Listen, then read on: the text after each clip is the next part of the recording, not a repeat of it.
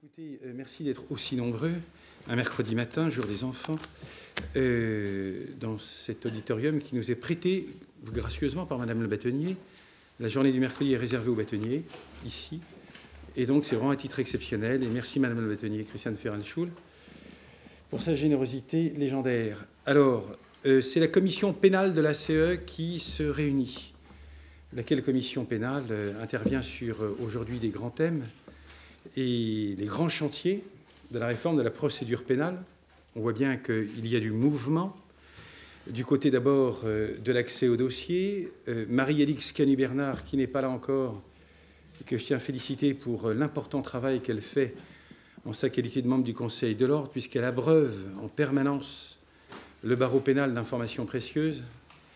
Eh bien, euh, les grands chantiers de la procédure pénale aujourd'hui euh, sont ceux qui sont déjà traités, c'est vrai, par différentes commissions, certes, mais plus, particulièrement ici, nous allons mettre l'accent sur euh, le travail, c'est vrai, des secrétaires de la conférence, et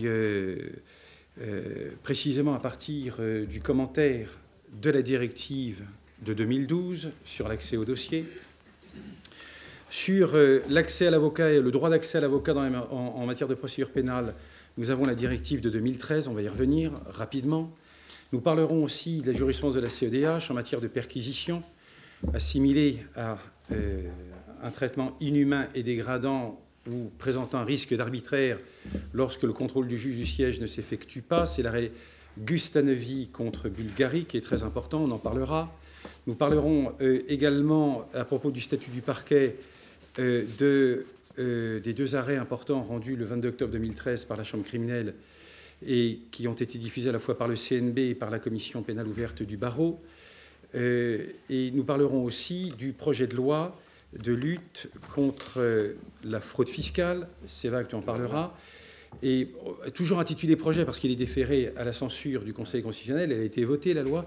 le Conseil constitutionnel devrait rendre sa décision assez rapidement, en fait. Nous avons eu le recours donc, des parlementaires qui ont saisi le Conseil. C'est un recours qui est fortement motivé, mais qui, ne me paraît pas impressionnant, enfin intéressant, mais tout de même, on a vu plus fort. Et euh, ce qui est intéressant, c'est surtout la création de ce parquet financier à compétence nationale, qui devient le compétiteur du parquet financier de Paris, et puis du parquet auprès de la GIRS, donc, euh, on voit bien qu'on a un, parquet à compétence nationale en matière financière, alors même que le statut du parquet est discuté partout en jurisprudence, CEDH, Chambre criminelle de la Cour de cassation. Bon courage aux législateurs, puisque Mme Taubira a annoncé son intention de légiférer par voie de, circulaire en matière pénale, alors qu'on sait que bah, euh, la, réforme de la procédure, on ne peut légiférer que par le législateur lui-même. Donc tout ça est très intéressant. Alors, euh, grand débat qui euh, préoccupe les avocats, nous n'oublierons pas également le droit interne. Nous avons déjà un droit positif, et Cédric Labrousse en parlera, euh, nous avons déjà des textes, deux textes qui sont importants, 706-105 du Code de procédure pénale et 706-106 sur le droit d'accès au dossier en matière d'enquête de flagrance et en matière de criminalité organisée. Donc il y a un droit d'accès au dossier qui est prévu à retardement, certes, mais qui est prévu, hein, déferment devant le parquet 705-106 et 705-105, c'est euh, lorsque, dans l'hypothèse d'une garde à vue euh, qui ait lieu six mois auparavant et que le parquet envisage une nouvelle audition, eh bien, euh, le mis en cause, qui est toujours au stade de l'enquête préliminaire, a le droit à l'assistance d'un avocat, fut-il commis d'office, mais avec accès au dossier. Et c'est important. Donc, ces dispositions-là qui sont méconnues ne sont pas exploitées. Et alors que nous avons déjà de la matière en droit positif interne.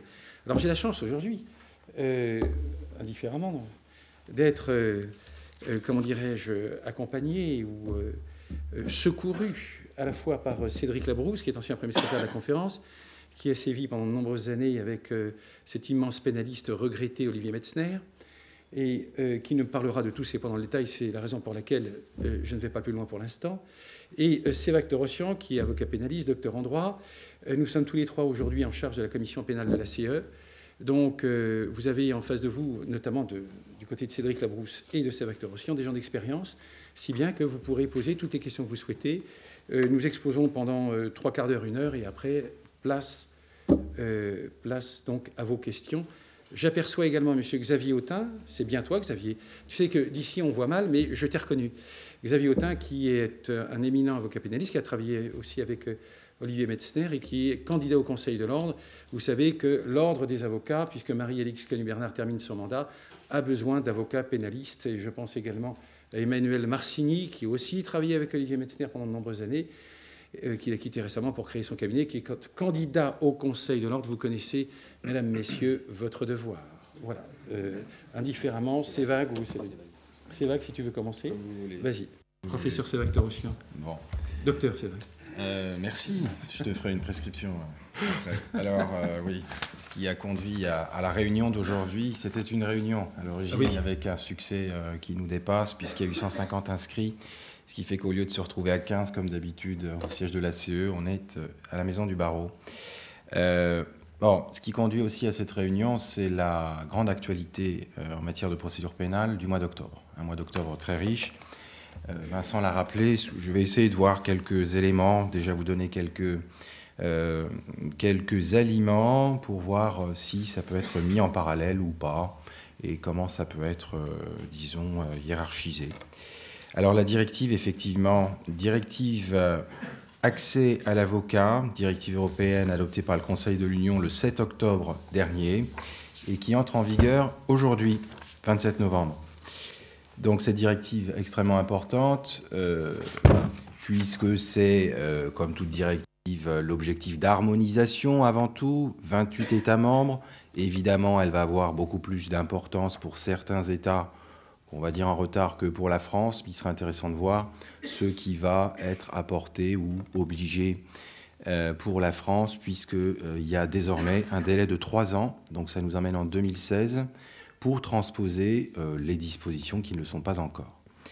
Donc, directive européenne, euh, arrêt de la CEDH, 24 octobre 2013, sur le droit de garder le silence, arrêt de la CEDH, dont j'ai plus la date, mais tu dois la voir, ça, doit être octobre pareil, sur l'insuffisance de motivation euh, pour le maintien en détention provisoire, Cassation criminelle 22 octobre 2013 sur le statut du parquet et un nouvel arrêt euh, criminel, donc chambre criminelle 5 novembre 2013 sur la permanence du droit euh, à l'avocat en garde à vue. On va, en dire quelques mots. Alors, moi je vois euh, de grands je vais vous servir deux cocktails si vous le permettez. L'un qui est euh, plutôt bon, plutôt sucré, et un cocktail empoisonné. C'est comme ça que je vois, euh, disons, la distinction entre cette grande nouveauté cet automne qui est extrêmement riche. Cocktail sucré qui serait composé donc de cette directive qui est tout de même une avancée euh, également pour la France. On va essayer de voir en quel point cela pourrait être important pour les droits de la défense au stade de l'enquête. Euh, composé également de l'arrêt de la CEDH sur le droit de garder le silence et l'arrêt de la chambre criminelle de euh, la Cour de cassation sur le statut du parquet. Et puis donc un deuxième cocktail, un cocktail empoisonné, qui est euh, sans doute plus surprenant pour vous. Je vais vous parler un peu, non, pas de la matière fiscale, hein, mais au moins de, la loi sur la fraude fiscale qui vient d'être adoptée et donc déférée devant le Conseil constitutionnel. Parce que, cocktail pourquoi? Parce qu'il va falloir euh, dramatiquement la mettre, la lire en même temps euh, que euh, Perben 2 et plus surprenant que l'OPSI, à mon avis. Voilà. Alors, puisque le thème d'aujourd'hui, c'est la défense au cours de l'enquête, quelle assistance effective? La notion d'effectivité va être au centre de mon intervention, je pense, de toutes les interventions d'aujourd'hui parce que la directive qui vient d'être euh, adoptée euh, vient poser une notion clé qui est celle de participation effective à l'interrogatoire. Alors que veut dire participation effective à l'interrogatoire? On va essayer euh, de le comprendre et d'interpréter, puisqu'en réalité, ce qui va se passer dans les trois années qui viennent, ça va être une bataille d'interprétation. Entre d'un côté les avocats qui insiste jusqu'aujourd'hui, puisque le, combat est de, grande actualité sur l'accès au dossier, Je crois que Cédric euh, va avoir une interprétation qui va tous nous intéresser tout à l'heure sur cet accès au dossier. Mais l'une des grandes batailles, ce sera, euh, à mon avis, euh, sur l'interprétation donc de cette notion de participation effective à l'interrogatoire. Alors, présence effective, assistance effective. pour faire un point, je crois que là, et on partagera sans doute ce point de vue, la présence de l'avocat a perturbé certains policiers. On s'est aperçu lorsque le rideau est tombé que certaines gardes à vue étaient euh, quasiment musicales, musique à fond, euh, des vannes dans tous les sens euh, qui auraient pu passer si elles ne s'adressaient aux gardés à vue, des va-et-vient incessants. Donc en réalité, nous avons découvert aussi des formes de violence qui sont inconnues au Code de procédure pénale.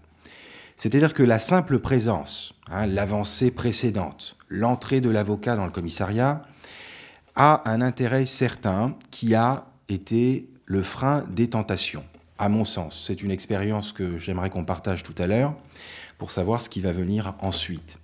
Frein aux tentations, frein aux tentations de fabriquer des réponses déjà, la présence de l'avocat, deuxième étape, non plus seulement dans les 30 minutes euh, du départ, mais également pendant toutes les auditions, euh, c'est le frein euh, aux, tentations de fabrication des réponses, en ce sens où même un enquêteur zélé, euh, consciencieux, qui a l'ambition de boucler son dossier, a parfois le, le désir d'aller chercher des réponses qui ne sont pas celles du gardé à vue.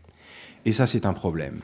C'est un problème il y aura toujours des exemples à donner, celui de l'aliéné mental par exemple, à qui l'on demande pourquoi tu as fait ça, et qui est incapable de répondre, et l'OPJ qui se sent obligé de boucler son dossier parce qu'il a besoin du mobile.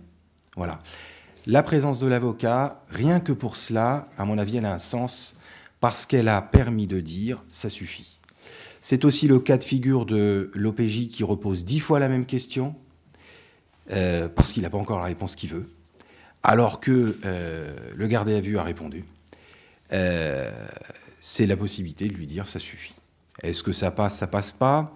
Alors on en arrive à notre actualité. Est-ce que l'avocat est un pot de fleurs qui essaye de l'ouvrir et finalement fait quelques implications, imprécations en expliquant qu'il va prendre une note d'observation? Alors qu'est-ce qu'on fait de lui? La prochaine étape est très claire finalement. La prochaine étape, c'est effectivement ce que nous propose, on a l'impression en tout cas, euh, sauf interprétation contraire, euh, mais on verra dans les années qui viennent, euh, que nous allons nous rapprocher, nous allons rapprocher les régimes de l'enquête et de l'interrogatoire, c'est-à-dire, enfin, de l'information. L'enquête et l'information dans le sens où, comme devant le juge de l'instruction, L'avocat est devenu actif en posant des questions et en formulant des observations.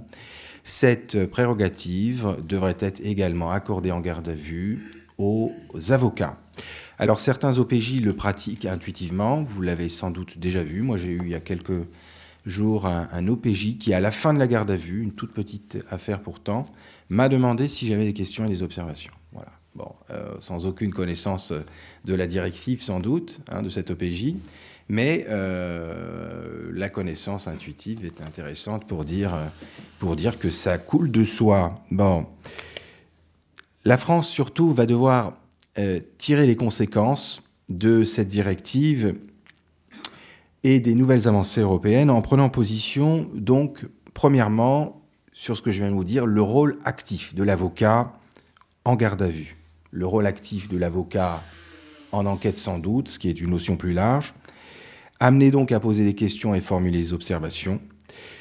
Euh, autre problème, autre prérogative qui semble être accordée par la directive, le droit de la personne suspectée de communiquer directement avec ses proches, un peu à l'américaine, c'est-à-dire que notre régime, c'est celui, euh, vous le savez, de, euh, du droit de faire prévenir, donc c'est l'OPJ qui prévient un proche. Là, ce serait on a l'impression, une communication directe, donc euh, sans doute le coup de fil passé, euh, à la famille euh, comme, comme aux États-Unis. Troisième point, la durée de l'entretien qui n'est pas précisée. Est-ce que la défense effective au cours de l'enquête, c'est un nouveau rapprochement qui serait annoncé avec l'information, c'est-à-dire la possibilité de communiquer non plus que 30 minutes au début et l'assistance pendant la garde à vue aux auditions, mais un espèce de droit permanent qui naîtrait. Encore une question qu'il faut se poser, qui n'est euh, que peu évoquée aujourd'hui parce que j'ai l'impression qu'on est énormément centré sur le problème de l'accès au dossier et qu'en réalité, il y a euh, d'autres questions comme celle-ci qui doivent être vues. Euh, autre question, le problème de l'audition libre, du coup. Quel est le statut? Est-ce que cela va passer à la trappe ou pas? L'accès au dossier, on l'a dit, et puis perquisition. Je suppose que Vincent, tu en diras quelques mots tout à l'heure, peut-être.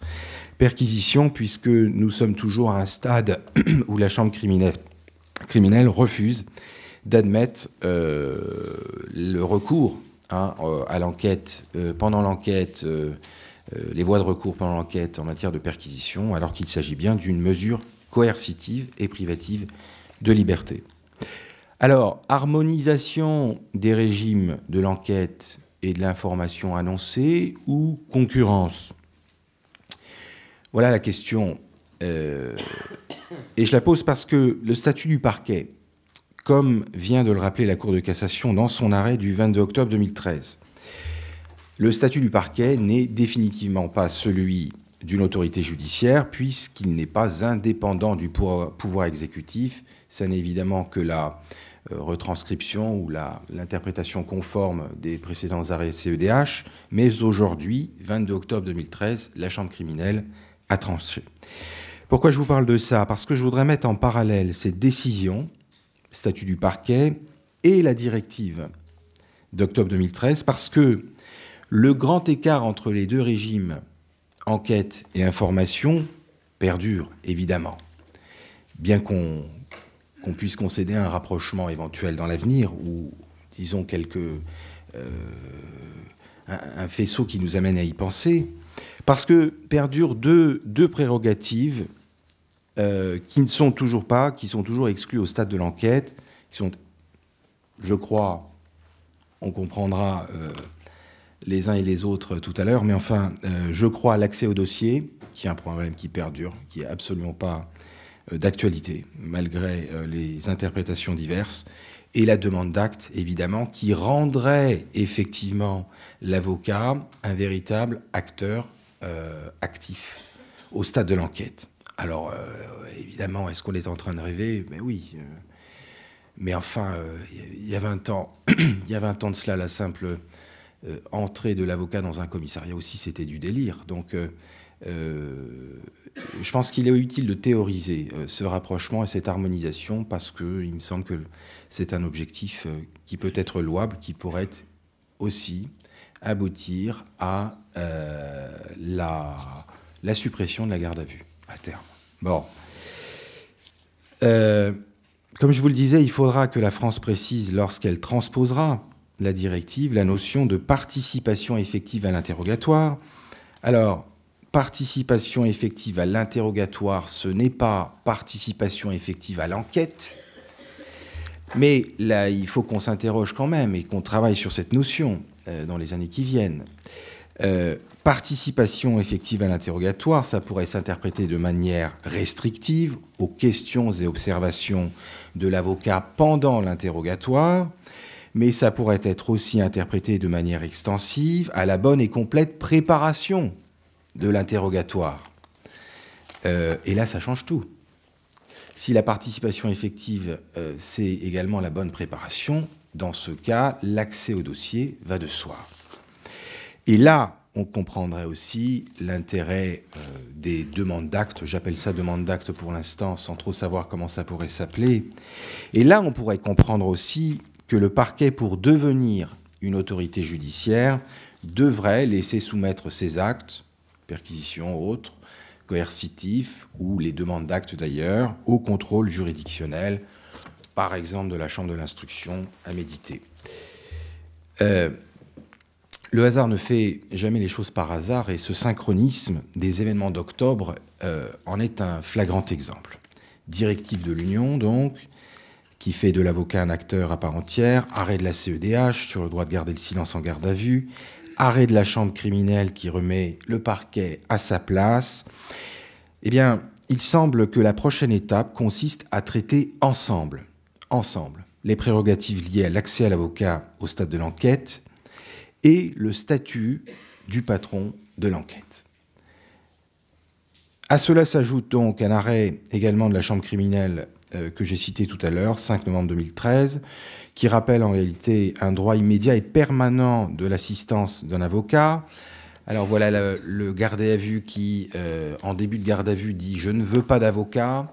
Et au bout de 3-4 heures, il se rend compte qu'il est en train de se faire euh, complètement avoir et qui dit je veux un avocat la chambre criminelle, en tout cas l'interprétation qu'on peut en avoir de ce critère de permanence, c'est qu'à n'importe quel moment au stade, euh, pendant la garde à vue, on puisse changer d'avis. Concrètement, euh, il y a un problème de preuve qui est euh, terrible. L'OPJ qui est seul avec le gardé à vue. le gardé à vue qui dit trois heures après, je veux un avocat. Qu'est-ce qu'il va leur répondre? C'est trop tard. Voilà, c'est terminé. Donc le problème de preuve va être évident. Euh, l'est toujours d'ailleurs, comme d'habitude. Euh, après, c'est le schéma classique de contestation, voire de citation à l'audience de fond, euh, y compris de l'OPJ, pour apporter la preuve de ce qui n'a pas été concédé. Voilà. deuxième point de mon intervention, je ne sais pas si je suis trop long, c'est bon, ça va bon.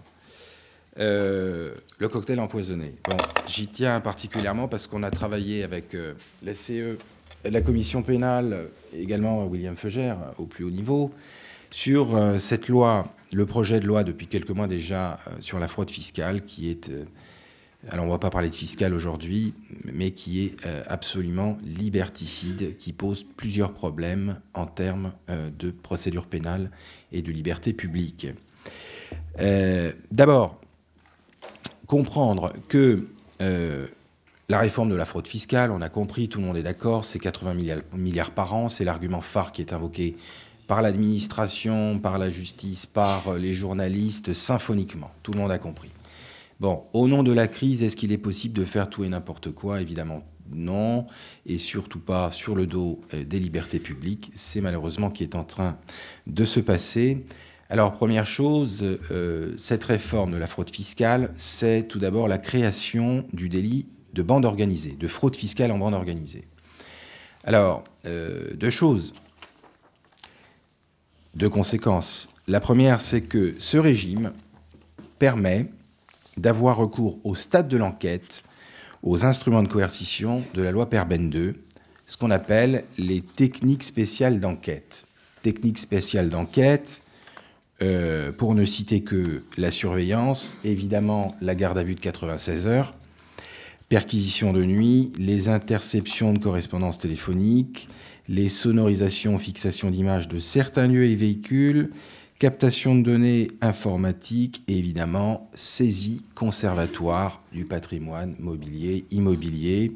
Bref, tout ce qui avait initialement été prévu pour lutter contre la criminalité organisée. Voilà, voilà ce qui est en train de se passer. Euh, comme Vincent l'a rappelé, une saisine du Conseil constitutionnel est en cours euh, sur pas mal de fondements, notamment celui de la disproportionnalité qui me paraît euh, le plus intéressant. On pourra sans doute en dire un mot tout à l'heure sur les fondements qui sont invoqués. Je suis assez d'accord avec toi sur la pertinence des, fondements. voilà. Est-ce que c'est proportionné, disproportionné? Le problème, c'est qu'au nom de la crise, aujourd'hui, tout est possible. Voilà, c'est le premier euh, constat. Deuxième conséquence pour ce problème, pour ce critère de bande organisée. C'est en réalité, qu'est-ce que c'est la bande organisée? C'est la personne mise en cause et en réalité son avocat. C'est-à-dire que la grande crainte qui est exprimée euh, depuis quelque temps, euh, non seulement par la CE et d'autres organismes syndicaux de défense des droits des avocats, mais également par les avocats fiscalistes, c'est que c'est précisément l'avocat fiscaliste qui est dans la ligne de mire du législateur. Bande organisée, l'avocat et son fiscaliste qui ont fait un montage, parce qu'aujourd'hui, euh, ce n'est plus un tabou, ça l'a été pendant des décennies, l'administration ne cache plus qu'elle souhaite confondre les notions de fraude fiscale et d'optimisation fiscale. Alors c'est un problème terrible. L'optimisation fiscale, c'est l'essence même du métier de fiscaliste. Retirer cette prérogative, c'est faire de l'avocat fiscaliste un espèce de préposé au paiement de l'impôt qui dénature complètement euh, son métier. Et puis c'est cette présomption qui fait peser sur l'avocat nécessairement, euh, comment tu disais Vincent dans ton article de la Gazette, la, la puisque la rémunération de l'avocat est ah nécessairement euh, la, rémunération du crime. Oui, l'honoraire et la rémunération du crime. Voilà. Mais, ce n'est pas de moi, c'est d'un magistrat instructeur. Ah, bah, encore mieux. L'expression était entre guillemets. bon. Alors, à ce mélange, euh, donc. Euh, c'était une citation. Réforme. Ah bon, je crois que c'était toi. Je pensais. je suis déçu du coup. Je suis... à ce mélange donc réforme de la fraude fiscale, Perben 2 euh, rajouter le troisième élément qui est l'OPSI, troisième élément, aliment quasiment qui est l'OPSI. Euh, les avocats ont loupé l'OPSI. 2010, euh, le problème de la saisie pénale est un problème monstrueux, monstrueux. Nous commençons à avoir des arrêts et des... Pire que cela, des saisies qui vont devenir, à mon sens, de plus en plus systématiques. C'est-à-dire qu'au stade de l'enquête, euh, l'enquêteur, donc l'OPJ dans certains cas, le procureur dans d'autres cas, évidemment euh, dans le cadre de l'information, mais là rien de nouveau. Dans le cadre de l'enquête, il est possible de saisir le patrimoine euh, de la personne mise en cause. Saisine du patrimoine. Alors, il y a évidemment des conditions qui sont fixées, c'est un peu technique de revenir dedans. Euh, mais enfin, euh, saisine, euh, selon les cas de figure, par exemple, pour un compte en banque saisi, il y a une condition de saisine par l'OPJ qui doit être confirmée par le JLD dans les 10 jours, encore qu'il faudrait qu'une notification ait été faite aux parties, et après, on n'a plus qu'à aller pleurer devant la chambre de l'instruction. Connaissant les délais d'audiencement dans la chambre de l'instruction, euh, voilà, on n'a plus grand-chose à faire dès lors que le patrimoine est saisi, qu'on va récupérer six mois plus tard sans doute, mais le mal est fait. Le patrimoine saisi, c'est la personne à la rue, présumé innocent qui est à la rue. Alors c'est un problème assez euh, compliqué parce que avec la bande organisée où l'avocat fiscaliste est visé, euh, il y a une question qui se pose, euh, qui n'a pas été encore traitée, mais qui est celle de la saisie du patrimoine du cabinet d'avocats. Est-ce qu'on imagine demain Francis Lefebvre saisi? Enfin bon, je donne un nom, mais ça pourrait être un autre. C'est juste pour marquer les esprits. Saisie du patrimoine parce qu'il y aurait eu un soupçon. Hein, en matière de fraude fiscale, on est simplement sur le soupçon. soupçon de fraude qui déclenche l'enquête euh, c'est terrible. Deuxième problème de cette loi sur la fraude fiscale, c'est la création euh, du lanceur d'alerte. Lanceur d'alerte, un délateur immunisé, une toute personne qui aurait connaissance d'une infraction. Alors, euh, on a cru que c'était toute personne qui aurait connaissance d'une infraction de fraude fiscale, mais c'est pire que ça. Non, c'est toute infraction. Toute infraction peut balancer doit balancer, enfin peut balancer, on va dire, euh, sans être inquiété ni de poursuite pénale, typiquement pour dénonciation calomnieuse, ni pour une sanction euh, au travail, c'est licenciement. Euh, voilà. C'est-à-dire qu'on a introduit dans la loi sur la fraude fiscale une disposition déjà scandaleuse en soi qui vient réinstaurer une pratique qu'on croyait disparue depuis 60 ans, réinstaurer de manière analgésique, hein, tout à fait, euh, tout le monde est endormi, euh, la délation en France. Voilà. Et non seulement on vient réinstaurer la délation, mais le culot qui est poussé euh, à son paroxysme, c'est que ça ne concerne, on fait croire que ça concerne la fraude fiscale, mais le texte ne dit pas fraude fiscale, il dit tout crime ou délit. Mmh. Dénonciation de tout crime ou délit, impossibilité de poursuite dès lors que la personne est de bonne foi. Évidemment, mais imaginez, mais bon, soyons clairs, euh, ce texte qui est donc devant les sages aujourd'hui, s'il demeure, va mettre le feu à toutes les relations existantes en société, dans les entreprises elles-mêmes. Voilà le salarié qui veut une augmentation et qui commence à faire du chantage à son patron parce qu'il a des informations qui menacent de balancer sans aller jusqu'au à l'employé, le simple stagiaire qui veut un boulot, le concurrent qui veut planter son concurrent, et pourquoi pas la, la maîtresse ou la femme qui veut divorcer. C'est toutes les relations en société qui sont concernées dans un texte qui, en apparence, relevait de la fraude fiscale. Voilà, donc euh, mon attention voulait être portée sur ce euh, cocktail empoisonné. Nous avons évidemment de belles avancées. Euh, mais la France, non, est-ce que l'Union européenne devient le simple garde-fou de la France? Est-ce que la France est capable d'arriver à des conclusions auxquelles nous voudrions arriver Eh bien, on en reparlera tout à l'heure si vous le voulez bien. Merci.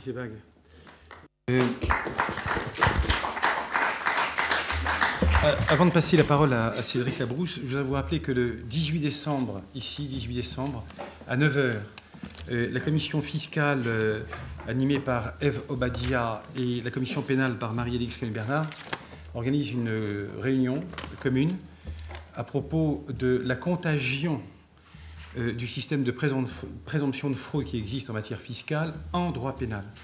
Donc il y aura notamment deux magistrats importants Jean-Baptiste Parlos, qui est en charge du service pénal aujourd'hui, après s'être occupé des JLD pendant quelques temps, et M. Guillaume Daïef, qui est juge d'instruction au pôle financier, bien sûr. Donc euh, venez nombreux parce que nous discuterons aussi euh, de euh, cette loi sur, consacrée à la lutte contre la fraude fiscale. Mais dans le prolongement de ce que disait Sévague, c'est qu'on a une loi qui est assez bizarre dans la mesure où elle institue plusieurs systèmes de présomption bah, de responsabilité pénale.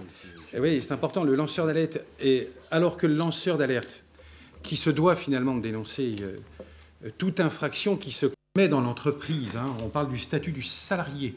Donc euh, on renvoie aux dispositions du Code du travail, mais renvoyant aussi à ces cabinets d'avocats qui n'emploient que des salariés.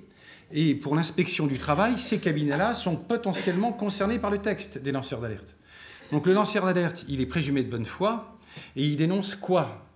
Il dénonce toute infraction dont il a connaissance. Et c'est vague a raison de dire, pas seulement la fraude fiscale. Alors que on a un système de euh, présomption de fraude en matière de fraude fiscale, puisqu'on parle de fraude fiscale, on a une présomption de culpabilité qui ne dit pas son nom. Alors on sait que les présomptions de responsabilité pénale ne sont pas interdites en droit pénal, pour autant qu'elles supportent la preuve contraire, il ne faut jamais l'oublier. Et donc là, on a par exemple une réforme de l'article 324-1 sur le blanchiment, où on va présumer que euh, les biens acquis euh, par la personne qui est suspectée de blanchiment proviennent nécessairement du blanchiment. Donc on met en place des systèmes de présomption de responsabilité pénale, de culpabilité, de culpabilité, comme je vous l'ai dit, qui ne disent pas leur nom, mais des systèmes de présomption de responsabilité pénale qui sont censés, supporter bah, la démonstration contraire, mais il faut se lever très tôt pour pouvoir la porter. Hein.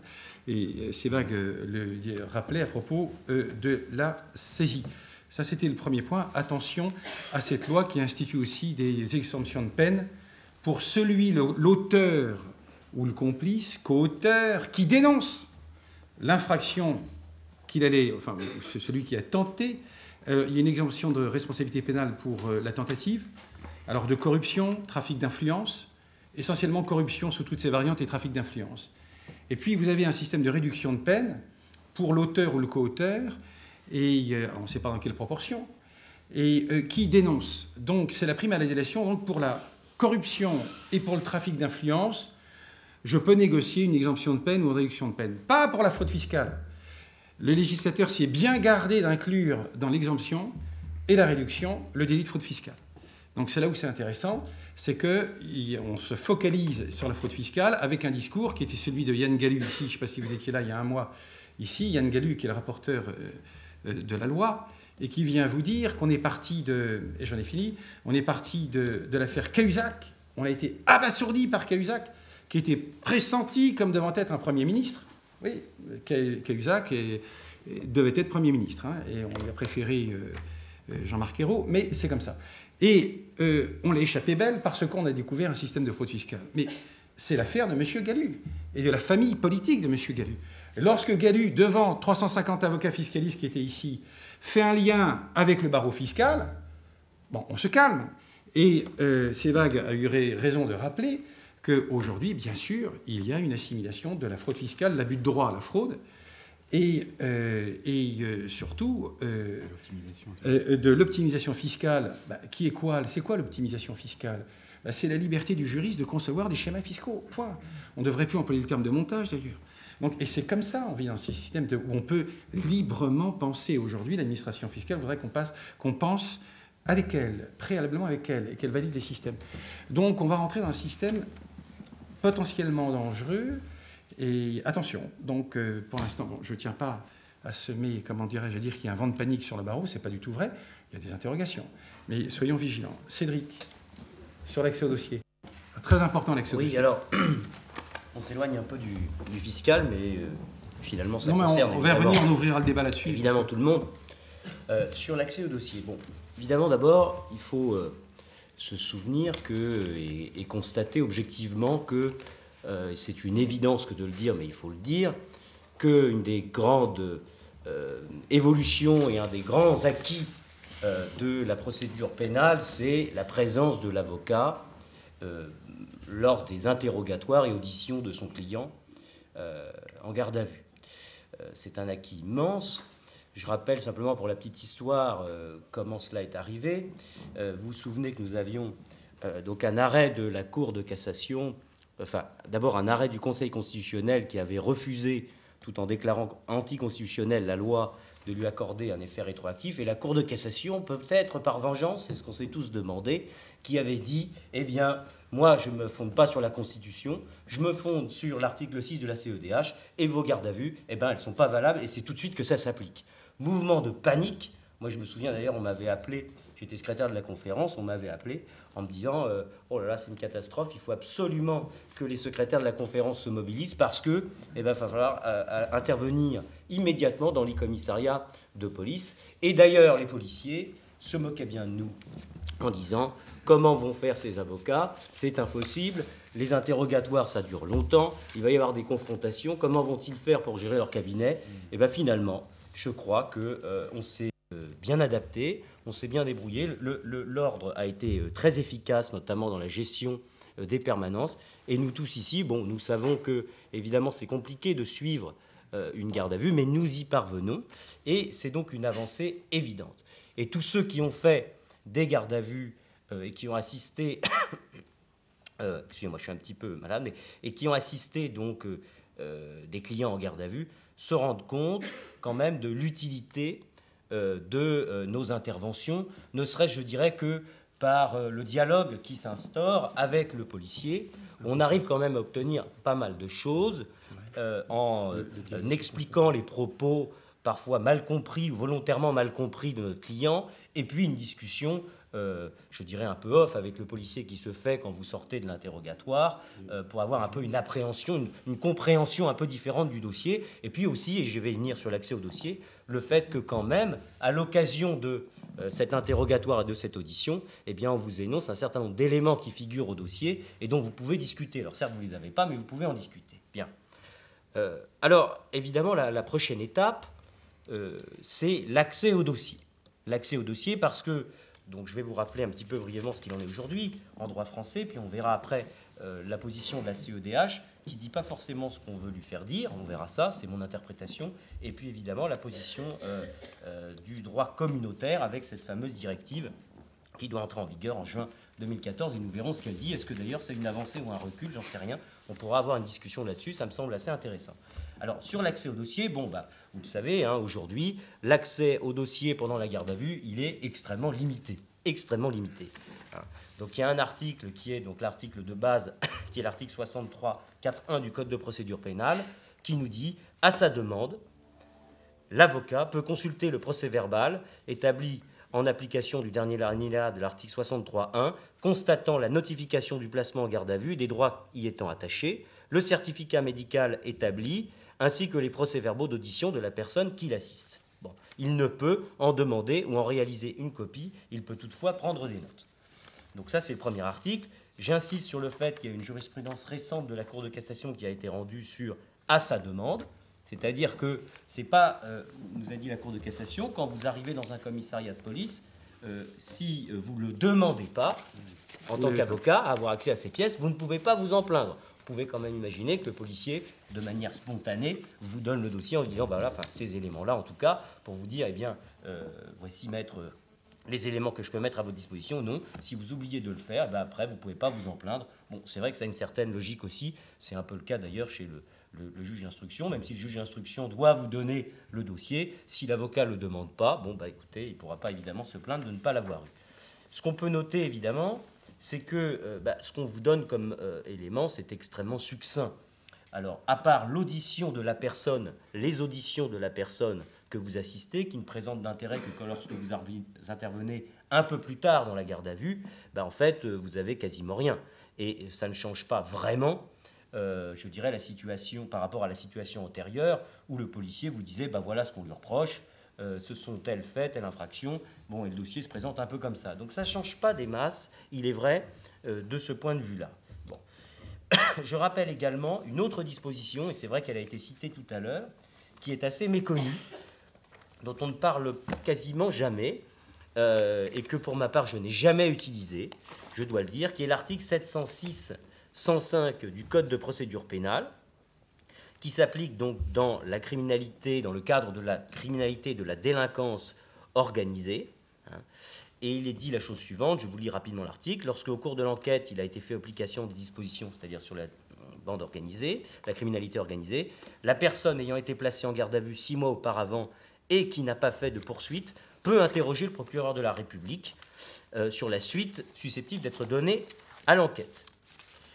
Cette demande est adressée par lettre commandée. Lorsque le procureur de la République décide de poursuivre l'enquête préliminaire et qu'il envisage de procéder à une nouvelle audition ou un nouvel interrogatoire de cette personne, cette personne est informée dans les deux mois suivant la réception qu'elle peut demander qu'un avocat désigné par elle ou commis d'office à sa demande par le bâtonnier puisse consulter le dossier de la procédure. Le dossier est alors mis à la disposition de l'avocat au plus tard dans un délai de 15 jours à compter de la demande et avant le cas échéant, toute nouvelle audition ou tout nouvel interrogatoire de la personne. Donc ça, c'est quand même très intéressant. Et euh, c'est très intéressant, notamment quand on analyse un petit peu euh, les raisons pour lesquelles la Cour de cassation, on va le voir, refuse aujourd'hui l'accès au dossier. On a envie de lui dire, mais euh, votre raisonnement ne tient pas vraiment, puisque pourquoi finalement dans les cas qui sont donc la criminalité, la délinquance organisée, donc ceux qui présenteraient a priori peut-être le plus de risques pour l'enquête, et eh bien finalement vous accordez sous certaines limites un accès au dossier, c'est-à-dire vous avez le droit quand même d'avoir le dossier par un avocat, alors que dans les autres cas qui sont bien des situations, je dirais, plus courantes, plus banales, eh bien vous nous dites, oh là là, il faut surtout pas le faire parce que cela risque de nuire euh, eh bien, au bon déroulement de l'enquête. Je vois là une sorte de, enfin, une, contradiction qui, à mon sens, n'est pas assez exploitée. ce qui est intéressant, évidemment, c'est de noter que bah, notre droit euh, permet, dans certaines situations, l'accès au dossier au cours de l'enquête et donc nécessairement au cours euh, de, de, de, la garde à vue, puisque les, interrogatoires et auditions peuvent prendre la forme d'une garde à vue. En parallèle, on note que euh, les juridictions, certaines juridictions de fond, je vais vous donner deux exemples, ont euh, essayé, eh bien, malgré les textes euh, eh bien, actuels, de, de, permettre, de permettre cet, accès et de renforcer la présence de, l'avocat, bien évidemment au cours de l'enquête, mais aussi en garde à vue. Et vous verrez que malheureusement, bien, euh, ces, jurisprudences n'ont pas, été, euh, pas été suivies, n'ont pas été validées par euh, la, Cour de cassation.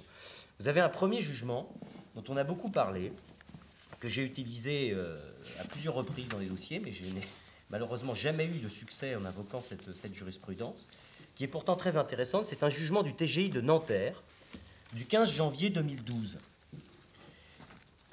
Donc c'est l'affaire Havas et les prévenus euh, avaient invoqué devant cette, cette juridiction euh, la nullité de l'ensemble de l'enquête préliminaire sur le fondement de l'article 6 de la Convention européenne des droits de l'homme, en invoquant euh, une, une, sorte de, droit à l'instruction. C'est-à-dire de dire finalement l'enquête préliminaire, c'est une situation de déséquilibre complet.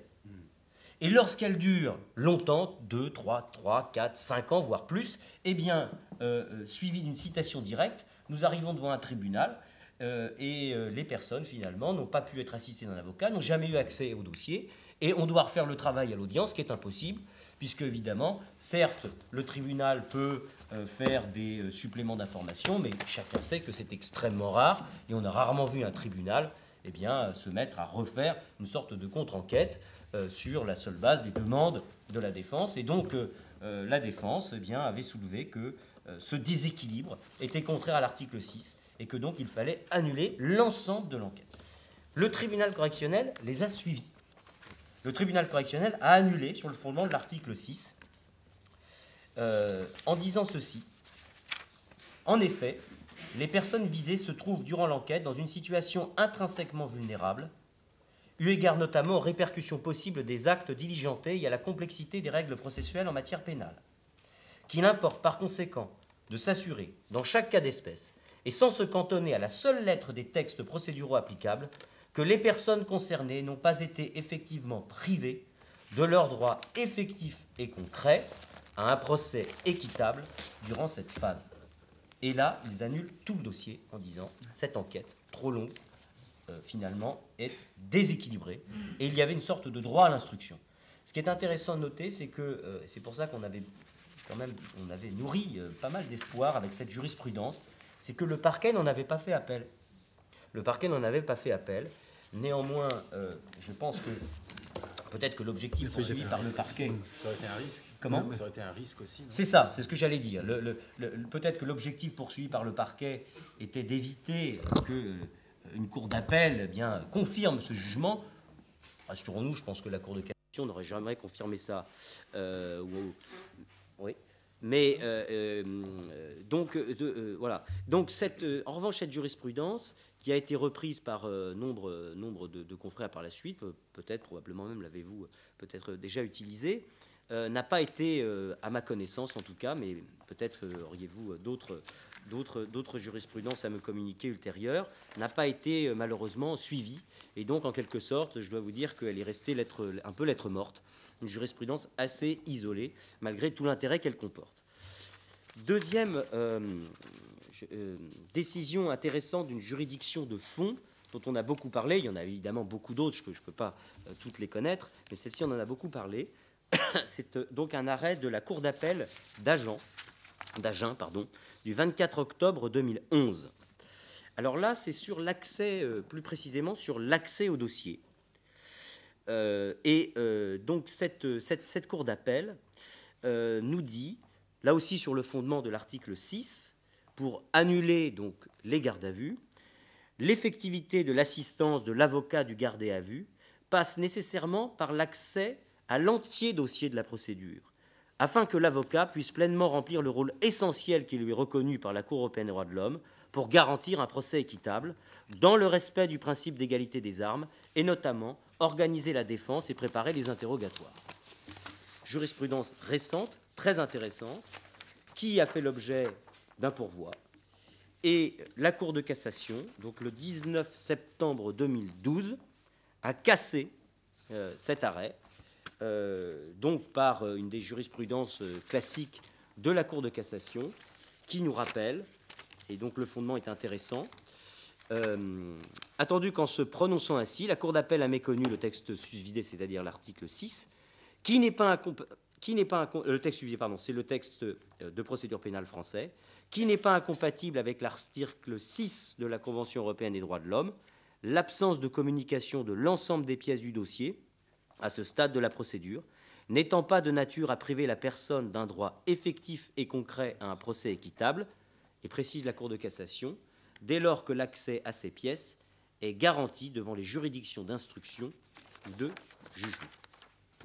Ce sont les termes de la directive de 2012 hein, aussi. Hein. On, va, on, va, on, va, on va y venir. On va y venir.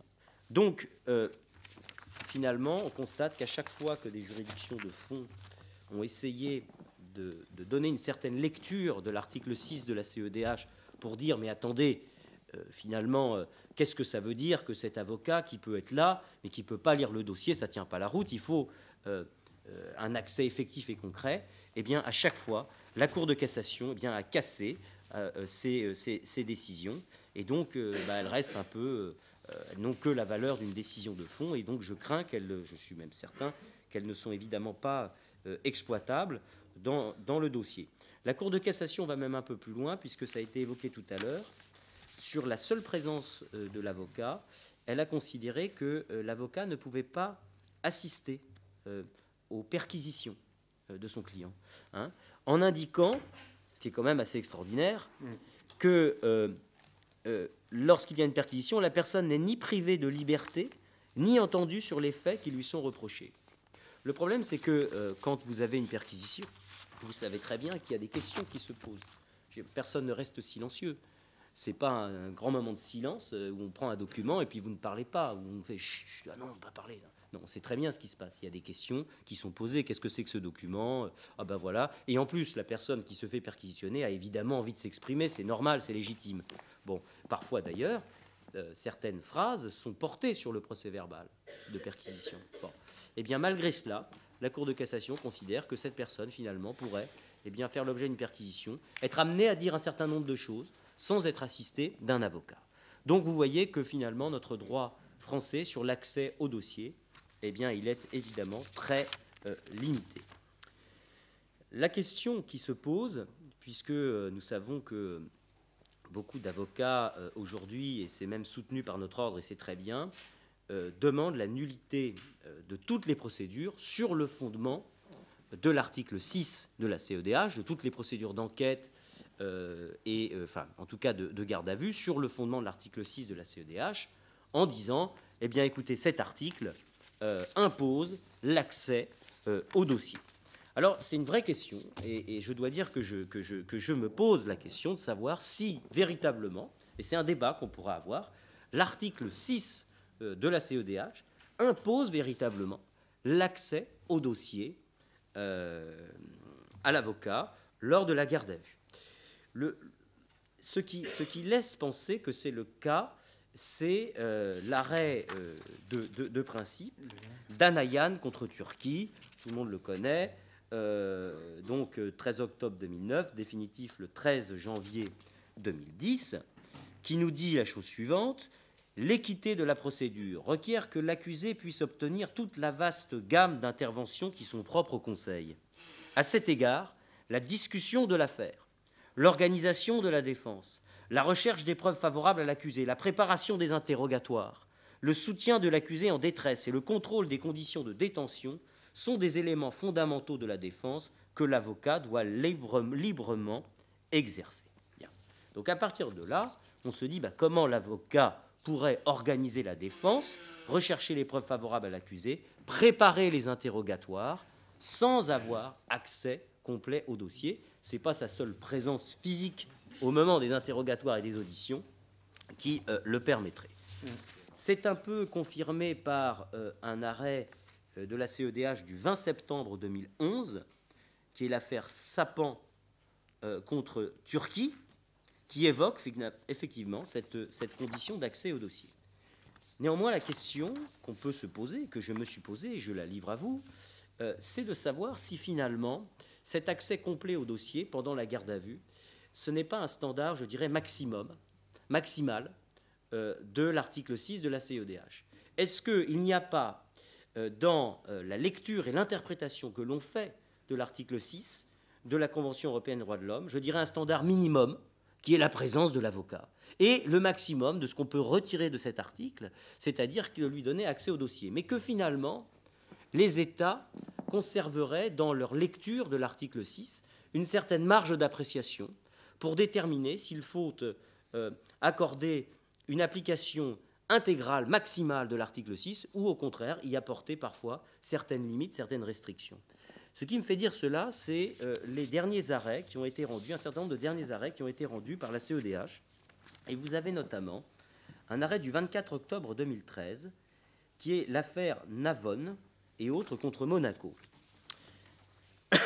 Et dans cet arrêt, euh, la Cour européenne des droits de l'homme vient en quelque sorte résumer la, jurisprudence, la position, sa position euh, en ce qui concerne la lecture de l'article 6 de la CEDH. Et elle nous dit la chose suivante.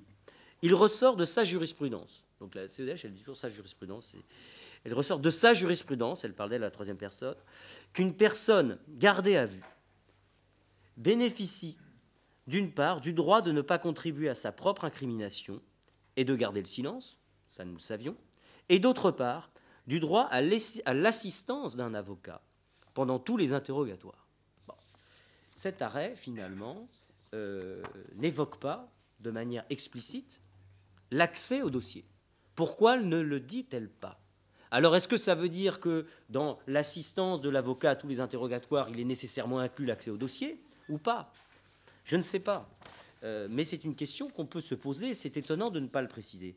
Vous avez également cet arrêt du 14 octobre 2010, donc un peu plus ancien, l'affaire Brusco contre France, où euh, effectivement la, France a constaté, euh, la, CEDH a constaté une méconnaissance de l'article 6, mais ne traite pas de cet accès au dossier. Elle n'en parle pas. Je vous lis le passage consacré à la France.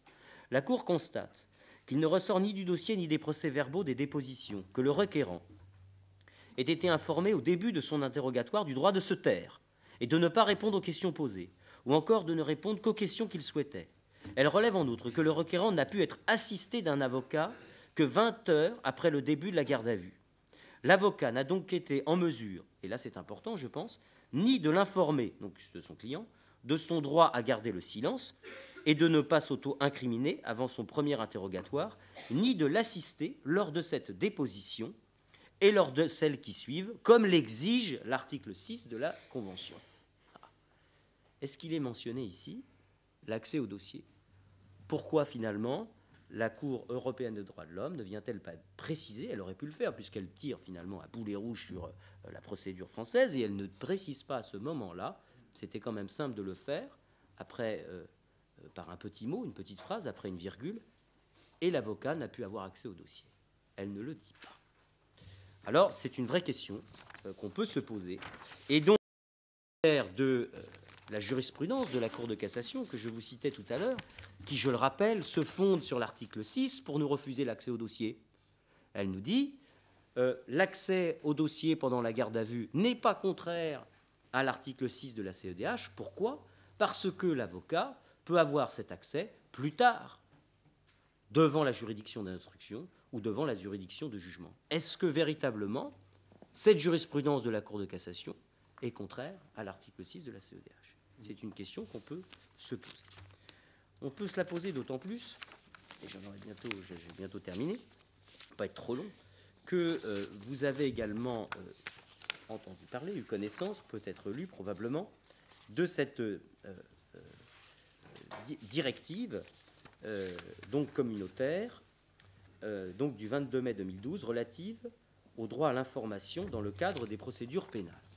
Cette directive, elle doit être transposée au plus tard le 2 juin 2014 et euh, les secrétaires de la conférence, et ils ont très bien fait de le faire, se sont prévalus de cette directive en indiquant qu'elle aurait un effet direct pour demander son application immédiate, car il est vrai que cette directive, dans son article 7, euh, prévoit un, un droit d'accès aux pièces du dossier pénal. que, nous, que nous dit en quelques mots cette, directive sur ce droit d'accès? Parce que euh, nous verrons que cela va poser un certain nombre de, problèmes que je vais évoquer. Oui Ah non, non, non, D'accord. Euh, que, nous dit-elle? Alors, elle nous dit, euh, donc premièrement, la chose suivante. Lorsqu'une personne est arrêtée et détenue, à n'importe quel stade de la procédure pénale, les États membres veillent à ce que les documents relatifs à l'affaire en question, détenus par les autorités compétentes, et là c'est important, qui sont essentiels pour contester de manière effective, conformément au droit national, la légalité de l'arrestation ou de la détention soit mise à la disposition de la personne arrêtée ou de son avocat. Première disposition. Deuxième disposition, les États membres veillent à ce que les suspects ou les personnes poursuivies ou leurs avocats aient accès au minimum à toutes les preuves matérielles à charge ou à décharge des suspects ou des personnes poursuivies qui sont détenus par les autorités compétentes afin de garantir le caractère équitable de la procédure. Et s'agissant de ce deuxième paragraphe, la, directive précise l'accès est accordé en temps utile pour permettre l'exercice effectif des droits de la défense et au plus tard lorsqu'une juridiction est appelée à se prononcer sur le bien fondé de l'accusation. Et le paragraphe 4 prévoit même, ce qui est extraordinaire, l'accès à certaines pièces, donc dans tous ces cas, peut être refusé lorsque cet accès peut constituer une menace grave pour la vie ou les droits fondamentaux d'un tiers, ou lorsque le refus d'accès est strictement nécessaire en vue de préserver un intérêt public important, comme dans les cas où cet accès risque de compromettre une enquête en cours ou de porter gravement atteinte à la sécurité nationale de l'État. Alors, si cette directive, c'est, euh, disons-le clairement, la consécration euh, d'un accès libre au dossier, j'ai du mal à suivre. On prend le premier alinéa. Les États membres veillent à ce que les documents relatifs à l'affaire en question détenus par les autorités compétentes, qui sont essentiels pour contester de manière effective, conformément au droit national, la légalité de l'arrestation ou de la détention. Vous voyez bien toutes les restrictions. D'abord, documents essentiels. Qu'est-ce que ça veut dire?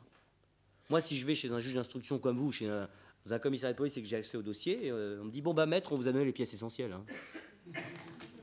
Ah oui, alors je peux voir ce que même parce que éventuellement apprécier le caractère essentiel. Ah non, maître, moi je voilà, c'est comme ça, c'est essentiel. Hein. Non, essentiel, qui le décide? Comment contester? Comment contester l'appréciation du caractère essentiel ou non de cette pièce? Et ensuite, pourquoi on vous le donne?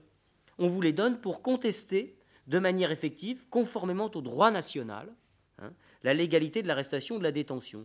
Ça veut dire quoi? Ça veut dire qu'en fait, ces pièces essentielles ne doivent vous permettre que de contester la régularité de la détention ou de l'arrestation, et conformément au droit national. Or, si notre droit national reste tel qu'il est, ça veut dire quoi? Ça veut dire qu'on peut vous donner, merci, on est, je, suis, content, les pièces essentielles pour pouvoir faire une requête en nullité quand j'ai accès au dossier d'instruction, bon, et pouvoir euh, déposer des conclusions de nullité quand je suis devant le tribunal correctionnel. Ah, merci, merci de me donner les pièces essentielles pour pouvoir faire mon travail. C'est-à-dire, j'avais, euh, dans tous les cas, avant, accès au dossier d'instruction, puisque c'était à l'instruction, heureusement, donc je peux avoir pas seulement les pièces essentielles, mais toutes les pièces pour faire une requête en nullité. Et devant le tribunal correctionnel, heureusement que je peux avoir tout le dossier. Enfin, je suis devant une juridiction de jugement. Donc je ne comprends pas bien, en réalité, mais on en débattra certainement, si euh, ce qu'apporterait, ce que nous apporterait cette, cette directive qui peut même s'avérer, euh, selon certains, assez dangereuse. Et on peut se demander si elle ne pourrait pas restreindre, si elle ne va pas conduire à restreindre, finalement, en quelque sorte, si on l'appliquait strictement, j'allais dire un peu bêtement, ce qui ne sera pas le cas, l'accès au dossier. Deuxième, deuxième paragraphe également, euh, est accès au minimum à toutes les preuves matérielles à charge ou à décharge des suspects ou des personnes poursuivies. Hein, quand ça, au moment où la juridiction, c'est-à-dire au plus tard, nous dit-on, ça veut dire qu'en gros, si on a une interprétation restrictive, on peut nous dire, bah, écoutez, moi je vais l'appliquer euh, de manière restrictive, cette directive, donc euh, je vous donnerai, comme la directive le prévoit, au plus tard, au moment où la juridiction va statuer sur le bien fondé. Mais ça veut dire quoi? Ça veut dire qu'en fait, on va vous dire, vous aurez le droit euh, aux, preuves matérielles à charger à décharge au moment où le tribunal va vous juger, monsieur. Bah c'est formidable. Votre avocat va avoir le dossier quand on va statuer sur votre cas. Vous vous rendez compte? C'est formidable. C'est un, une extension des droits de la défense inouïe. Hein Réjouissons-nous. Bon, et plus grave encore, plus grave encore, mais vous allez dire que je suis pessimiste, c'est vrai. Mais plus grave encore, qu'est-ce que c'est que cette, cette, cette, cette alinéa 4 qui prévoit que l'accès à certaines pièces du dossier peut être refusé? Refusé. Et pourquoi Parce que ça peut constituer une, menace grave pour la vie ou les droits fondamentaux? Attendez, monsieur. Euh, oui, euh, monsieur, votre, votre client, excusez-moi, est accusé d'avoir euh, tenté d'assassiner telle personne ou d'avoir commis un acte terroriste ou que sais-je. Vous comprenez bien que je ne peux pas lui donner accès au dossier. Je ne peux pas vous donner accès au dossier parce que ça risque de constituer une menace grave pour la vie. Bon, voilà. Voilà les points. Euh, que je voulais vous soumettre. Alors, est-ce une avancée? Est-ce un recul? À discuter. Merci beaucoup, Cédric.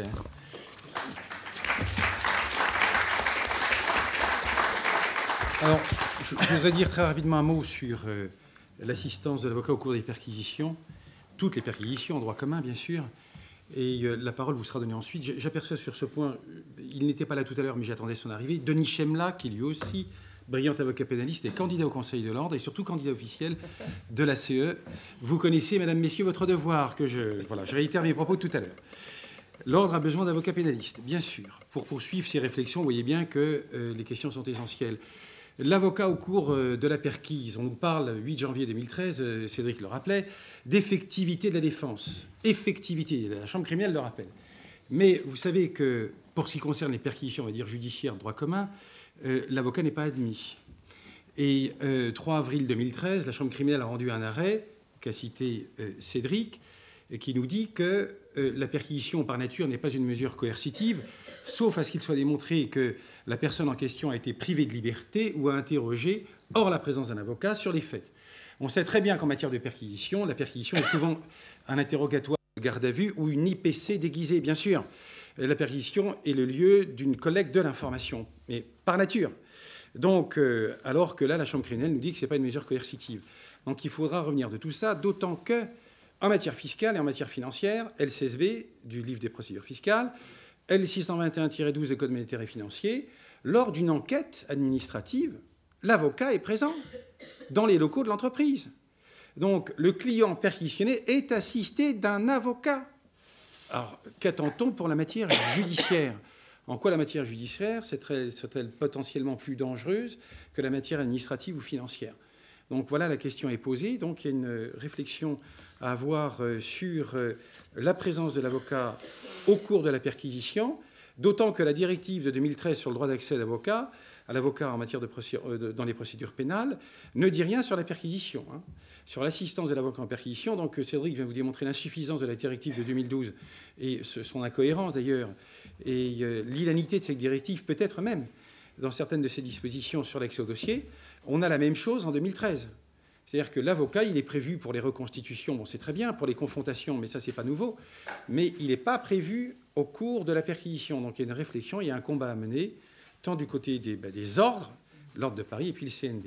Voilà, j'en ai terminé. Vous avez la parole pour nous poser des questions, et auxquelles Cédric et Cédric répondront bien sûr. Expliquer LCSB peut-être en deux mots Parce que Oui, alors LCSB du livre des procédures fiscales, pardon. Oui, excusez-moi. Euh, euh, LCSB euh, institue une présomption de fraude euh, dans les hypothèses bah, de, fraude au BIC, BNC et à la TVA.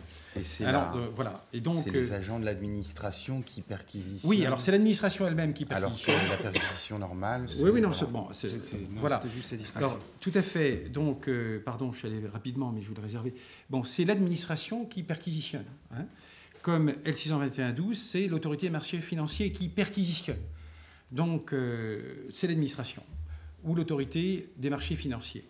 Alors, euh, l'ambiance n'est pas du tout la même euh, que celle qui existe lors des perquisitions, on va dire judiciaires de droit commun, et qui sont toujours, bien évidemment, coercitives. Moi, je ne fais pas la différence entre une perquisition et une garde à vue. voilà, bien sûr. Donc, euh, je parlerai de tout ça le 18 décembre, je ne vais pas en parler maintenant, s'agissant des avocats, donc on ne va pas anticiper sur un débat qui n'a pas lieu aujourd'hui. Mais euh, voilà, merci Sévague.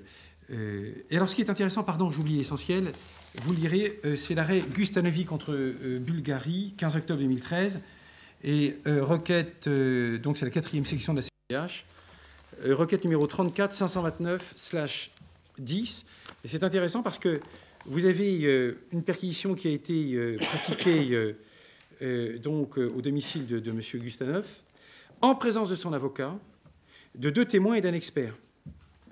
Et là, la Cour aborde un autre aspect, c'est le contrôle du juge. Non pas du parquet, mais du juge. On reviendra sur le statut du parquet plus tard. Elle dit ceci La Cour considère qu'en l'absence d'une autorisation préalable d'un juge et d'un contrôle effectif a posteriori de la mesure d'instruction contestée, ces garanties procédurales n'étaient pas suffisantes pour prévenir le risque d'abus de pouvoir de la part des autorités de l'enquête pénale. Ces éléments suffisent à la Cour pour conclure que même si la mesure d'instruction contestée avait une base légale dans le droit interne, la législation nationale n'a pas offert aux requérants suffisamment de garanties contre l'arbitraire, avant ou après la perquise. L'arbitraire, perquisition arbitraire, traitement inhumain dégradant. Donc, euh, contre l'arbitraire, avant ou après la perquise, de ce fait, les requérants ont été privés de la protection nécessaire contre l'arbitraire de foi que leur conférait le principe de la prééminence du droit dans une société démocratique. Et euh, on conclut à la violation de l'article 8. Bon, voilà, la perquise est une ingérence, bien sûr, et qui euh, doit être autorisé ou bien par un, juge du siège et contrôlé a posteriori encore par un juge du siège. Alors on a ça en droit français, bien sûr, nous on l'a déjà euh, LCSB qui dit que, qui prévoit que la perquisition doit être autorisée par le JLD et à charge pour le perquisitionné d'interjeter appel de l'ordonnance du JLD qui autorise la perquise et d'interjeter appel aussi des opérations de saisie. C'est-à-dire on peut critiquer les opérations de saisie et par, le biais de l'appel, il hein, faut bien comprendre ça. Et vous avez la même chose sur L621-12. Vous n'avez rien de tel euh, euh, en matière de perquisition, 56 euh, alinéa 3, je crois, ou 96 alinéa 3 pour les juges d'instruction. Alors là, c'est intéressant parce qu'on en parlait avec Xavier Autain il y a quelques temps. Bref. Et dans le cadre d'une affaire, donc on ne peut pas évoquer, mais le débat était le suivant, c'est qu'on parlait de l'EPJ tout à l'heure, et je, vous la fais courte, mais le rôle de l'avocat en garde à vue, je, voudrais aborder. Euh, le rôle de l'OPJ en matière de perquisition, en matière de saisie, en matière criminelle, mais au sens général du terme, il a un rôle essentiel, l'OPJ. Et euh, renvoie d'ailleurs à, 56 à alinéa 3 du Code de, procédure pénale. C'est que euh, lors d'une perquisition fiscale, vous avez la présence d'un OPJ. Quel est le rôle de l'OPJ C'est simple, il est de faire respecter le secret professionnel et les droits de la défense. Personne ne sait ça. Que le rôle de l'OPJ, en matière fiscale, mais en matière judiciaire, c'est de faire respecter et secret professionnel et droits de la défense. 96 alinéa 3, lorsque le magistrat instructeur décide de perquisitionner le domicile d'un tiers autre que celui de la personne déjà mise en examen, doit préalablement s'assurer du respect du secret professionnel et des droits de défense. Donc, perquises en cabinet d'avocat sont directement visées, on n'en parle pas. Mais tout de même, donc, en garde à vue, il faudrait peut-être rappeler à l'OPJ, d'une manière générale, que dans le texte du Code de procédure pénale, il y a ça aussi. Et euh, lors d'une perquisition fiscale, un jour, on a vu un EPJ, enfin récemment, euh, défendre et le secret professionnel et les droits de la défense contre l'administration fiscale. Donc un OPJ qu'on connaissait, mais on a vu un OPJ monter au créneau contre l'administration fiscale, comme le ferait un avocat. Et je trouve ça très intéressant parce qu'il faut sortir de la diabolisation du rapport euh, l'OPJ, je tire à vue. Ben non. je pense que, Cédric en parlait, il y a matière à instaurer un dialogue. Vous avez la parole. Si vous souhaitez avoir la parole. On se présente. David Dassa, c'est mon associé. Euh, David Dassa, tu as la parole. Tu as la parole. Euh, me semble-t-il, euh, sur cette relation de confiance et, de dialogue qui peut s'instaurer et qui s'instaure de fait dans le cadre des, des, gardes à vue, je crois qu'un arrêt a dû être rendu récemment par la Chambre criminelle qui indique que quand l'OPJ refuse qu'une question soit posée au garde à vue qui est déterminée par l'avocat, il n'y a pas de recours, sinon celui de transmettre par écrit cette question au parquet. Non pas une décision qui Transmettre au parquet Oui. Ouais. Je, moi, je n'ai pas vu. Ah bon Quelqu'un d'autre? Non, non, mais intéressant. Non, mais quelqu'un a entendu parler de oui. l'arrêt en question C'est la, possibilité, finalement, que l'OPJ puisse faire obstacle à une question posée par l'avocat dans le cadre de la garde à vue, qui gérerait en quelque sorte un droit de marge de son enquête, mmh. Mmh. Ouais. Euh, quel recours? Euh, Sinon, celui, nous dit la Chambre criminelle, apparemment, mmh. euh, de, de, de, de, poser cette question par écrit au parquet qui supervise. Mmh. Euh, intéressant, en octobre 2013. Hein. Moi, je l'ai pas vu, mais enfin, c'est. Je ne connais pas. Euh, si, je suis c'est dommage que vous ne soyez pas Ce qui est marrant, c'est vraiment le, synchronisme entre toutes ces décisions, la directive et ces, décisions, chambre criminelle, CEDH qui interviennent en même temps. Mmh. Euh, mais pourquoi pas C'est la, la, résistance des, des corps. Xavier Autain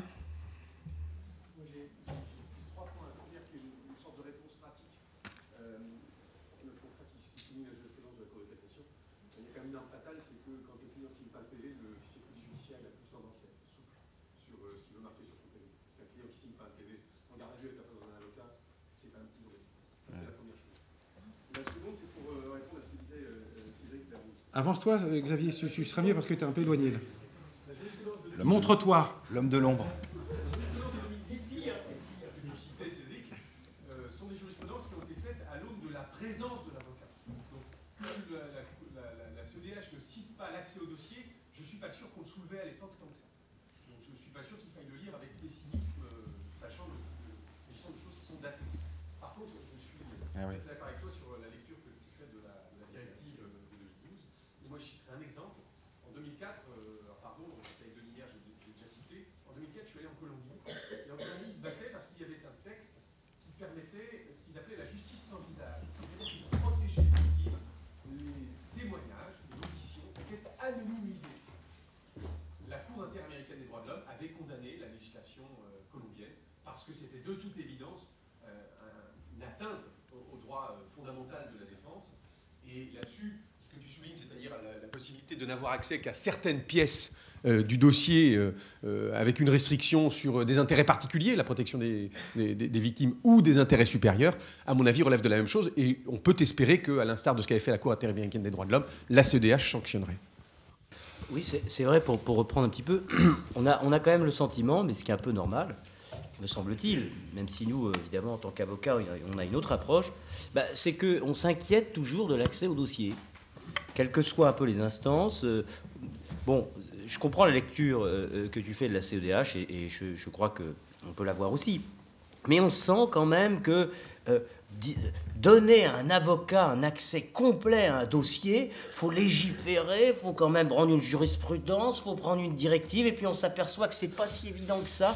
Il y a quand même une peur euh, alors je sais pas si c'est parce qu'on inspire peu de confiance, qu'on se dit qu'on va être les complices euh, de nos clients et qu'on va euh, structurer tout ça. Moi je crois tout simplement que derrière les grands principes, de, la Cour européenne des droits de l'homme et autres, il y a aussi un impératif qu'on ne peut pas perdre de vue, c'est l'efficacité de l'enquête. C'est l'efficacité de l'enquête. Et ils sont systématiquement obligés d'arbitrer, ces bons juges, ces législateurs, entre bah, comment on peut à la fois avoir une enquête efficace et des droits de la défense, parce qu'il ne faudrait pas non plus qu'on sombre en sens inverse, que, que, la balance penche que d'un seul, de l'autre côté finalement. Et je crois que c'est ça la question, c'est comment on arrive à cet équilibre extrêmement subtil, euh, cette, cette, vision équilibrée, ce procès équitable, mais dans les deux sens, c'est-à-dire à la fois entre une accusation qui peut accuser, une enquête qui peut se faire, et une défense qui peut s'exercer. Je crois que c'est ça le, point qui est, qui est difficile.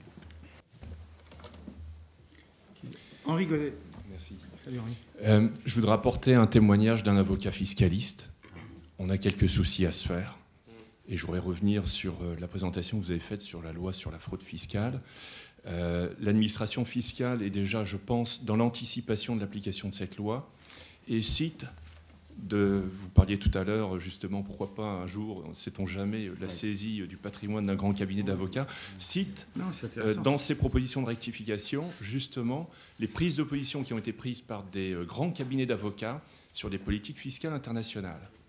Donc, je vous donne un exemple tout simple. Sur une politique fiscale internationale à l'intérieur d'un groupe de sociétés multinationales on parle d'une transaction entre une société française et une société euh, qui pourrait être, par exemple, localisée en Allemagne. Ce sont deux usines. On ne parle pas d'une société ad hoc euh, ou d'une société sans substance et sans personnel qui se trouverait au Panama ou dans les îles Caïmans. On parle de ça, on est dans l'Union européenne. Mmh. La société française euh, applique une vente à perte au bénéfice de la société allemande, mmh. mais qui dégage, qui est quasiment en perte qui est sur un résultat fiscal qui est quasiment nul, qui dégage pratiquement pas de bénéfices. L'administration fiscale voit cela tout de suite, elle constate la mauvaise foi et elle met en cause le cabinet d'avocats pour cela parce qu'elle confond en fait cette transaction avec une présomption de fraude, une volonté de, de, frauder, donc d'optimiser un résultat fiscal en France.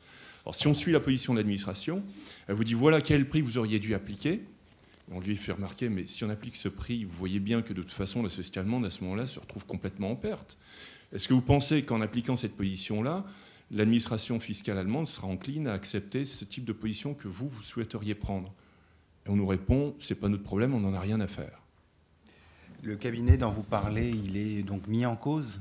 Il est mis en cause dans il est quoi euh, mis en examen ou Alors attendez, on est, on est dans une procédure fiscale. Je sais à ce, vous à ce stade, et ça paraît dans une, mais ça paraît quand même dans une conclusion, une proposition de rectification d'un résultat fiscal, d'accord? Hmm. Mais ça jamais on le voyait avant, jamais on, le voyait. Donc c'est bah, déjà, vous sentez que vous êtes déjà dans un processus, si vous voulez, qui anticipe l'application de la loi sur la fraude fiscale. Ah mais 2014 va être euh, terrible. Il y a d'autres points qu'on a, enfin bon, j'ai pas évoqué, le, renversement évident de la charge de la preuve et des choses très simples comme euh, euh, le, simple, la simple détention d'un compte bancaire à l'étranger Alors que dans la précédente version, vous êtes, euh, pour les fiscalistes qui seront mieux que moi, c'était la détention d'un compte dans un État non coopératif. Euh, voilà, la transformation est terrible. La simple détention d'un compte à l'étranger qui vient faire peser la charge de la preuve sur le contribuable que l'origine des fonds n'est pas illicite. Du délire. Voilà, renversement. Tout à fait. 60, d'accord. Euh, J'avais juste une autre petite remarque également à faire parce que nous avons une, euh, nous sommes diabolisés, je dirais un petit peu par les autorités fiscales actuellement, nous autres avocats fiscalistes, euh, lors d'une conférence qui a eu lieu il y a quelques jours en province, à laquelle euh, intervenait justement un officiel de l'administration fiscale très haut placé et notoire, hein, je dirais, bien connu. Alors c'était pas une conférence de l'IACF, hein, c'était pas une conférence pour les avocats, mais il y en avait quand même quelques-uns qui étaient là. C'était où? C'était à Marseille. Ouais. Et on nous dit la chose suivante. euh, de toute façon, pour le contentieux, le contrôle fiscal, ne prenez pas d'avocat, ça ne sert à rien. Mhm. Vous allez perdre de l'argent. Si vous prenez un avocat, vous allez au-devant de problèmes. Euh, vous ne trouverez des solutions qu'avec l'administration. Et si vous ça. choisissez un avocat, de toute façon, vous n'aurez que des problèmes. Donc on est en train de nous faire un lavage de cerveau là-dessus. Il y a une euh, réglementation qui est entrée en vigueur également sur la relation de confiance avec l'administration fiscale, qui euh, voudrait un petit peu se substituer à nous pour faire du conseil fiscal auprès des entreprises. Et on nous dit que la source des problèmes et celui qui euh, risque de faire plonger une entreprise, justement, c'est plutôt le, ou, ou une personne, un individu, ce serait plutôt le conseil fiscal. Donc on est en train de nous faire un lavage de cerveau euh, à ce niveau-là qui est quand même assez inquiétant. Terrible, Et tout ça en public, hein, au micro, euh, devant tout le monde. hein. terrible. terrible. Mhm. Merci. Denis Chemla. Oui, moi j'ai une question euh, qui part d'une expérience personnelle. Vous en avez parlé tout à l'heure, c'est la question des, des perquisitions et des déclarations faites pendant les perquisitions. Exemple très récent pour moi, une perquise qui dure 6 ou 7 heures chez un client, des dizaines d'enquêteurs dans les couloirs qui parlent à tout le monde, et tout le monde qui se sent sous la contrainte et qui donc répond et parle et explique des choses. Évidemment, aucun avocat puisqu'on n'a pas le droit d'être là. Alors, premièrement, est-ce que vous confirmez que ces déclarations ne valent rien? Et deuxièmement, je suis preneur de retour d'expérience de comment vous gérez ce genre de situation après, parce que beaucoup d'éléments ont été donnés aux enquêteurs sans, aucune, euh, sans aucun contrôle de, et sans aucune assistance de conseil. Évidemment, c'est- ça a un effet assez dévastateur sur le reste de l'enquête en ce qui nous concerne. Non, éc- bah, écoutez, moi, euh, ce que, ce que je, je pense que dans ces conditions, si les déclarations sont mauvaises, euh, il, faut, il faut en demander euh, euh, la nullité. Cet arrêt de la Cour de cassation, bon, il faut l'analyser un peu plus, mais je pense qu'on peut trouver un biais, notamment dans, dans la situation que, que vous exposez. Euh, je pense qu'il y a quand même un moment, si vous voulez, où si euh, il y a de multiples déclarations à l'occasion d'une perquisition, euh, on se rend bien compte que c'est plus du tout une perquisition, c'est une perquisition plus une audition. C'est Voilà. une garde à vue sans avocat après. Exactement. Mais tout à fait. Donc je pense quand même que euh, voilà, je pense que cette, cette jurisprudence de la Cour de cassation peut, euh, comment dirais-je, peut comporter certaines, certaines limites. Il faut la tempérer un peu. Je pense que vous pourriez, euh, en tout cas, essayer, parce que c'est vrai qu'on ne peut pas laisser passer ça, sinon ça va devenir euh, une pratique courante. Et j'imagine qu'après, on va vous opposer tout le long du dossier ce que vous avez dit au cours de la perquisition, et puis ensuite, vous ne pouvez plus revenir dessus. Donc non, moi je ne laisserai, pas- je laisserai pas passer ça. Non, mais alors, tu- on fait quoi? On pose une requête en nullité? Bah, ça dépend du stade de- Ouais. de- où on est, la procédure, mais... Au niveau de la protestation. Micro. de- Il sera probablement rétorqué qu'il s'agissait de déclarations spontanées. Oui, Euh, oui, non, mais sauf que... pas, pas- pas avec, euh, pas avec l'arrêt, euh, moi je pense avec l'arrêt du 3 avril 2013. Hein, euh, la personne n'est ni privée de liberté, ni entendue sur les faits qui lui sont reprochés. Donc à partir de là, la mesure n'est pas coercitive. Oui, mais si on dit Ouais. que on, on- Oui, oui, dira que la personne voulait parler. C'est très vous juste, on dira, euh, euh, effectivement, avec beaucoup de mauvaise foi, on pourra dire, bah écoutez, non, euh, spontanément, elle avait, énorme- elle avait envie de se confier à nous. Ouais. Alors, ce Elle avait des tas de choses à nous dire, on lui a sorti, non, oh là là, et puis alors, c'était sans fin, vous savez. Non, Ouais. mais je c'est ouais. vrai, c'est vrai ce que vous dites. Mm. Mais on peut, nous aussi, je pense, dire, écoutez, c'est pas la réalité, de, de- vous savez très bien que c'est pas comme ça que ça se passe. Oui, mais si on commence à faire du bruit autour de cet arrêt interprété à contrario, euh, je pense que et les enquêteurs et les juges d'instruction euh, feront attention. Vous savez que, moi, enfin moi c'est mon, mon avis, mais les magistrats instructeurs ne respectent les droits de la défense et ils le font que pour sécuriser leur procédure, évidemment. On le voit bien, euh, bon, moi j'ai cette l'expérience, mais des perquisitions dans les cabinets d'avocats, où on constate une évolution aujourd'hui. hein. L'atmosphère est moins tendue et moins brutale qu'il y y a quelques mois. Donc pourquoi? Parce que euh, ben, on passe notre temps à gueuler et à dénoncer des dérives. Et je crois qu'il faut communiquer là-dessus. Et, du côté de la brigade financière aussi, on fait beaucoup plus attention. C'est mon avis. Euh, moi, je crois que la procédure pénale, il ne faut, pas oublier, perdre de vue, hein, mais je, je, parle sous votre contrôle, je dis ça, mais c'est mon avis aujourd'hui. C'est euh, la procédure pénale, on sait qu'elle est le lieu de toutes les contestations possibles et imaginables, mais elle est le lieu de toutes les connivences. Voilà, de toutes les connivences. Quel est l'intérêt du client? On gère quoi? Et Quel dialogue j'instaure avec le PJ Je fais quoi? Quel intérêt je gère à un instant T? Alors j'ai du secret professionnel qui est en cause, etc.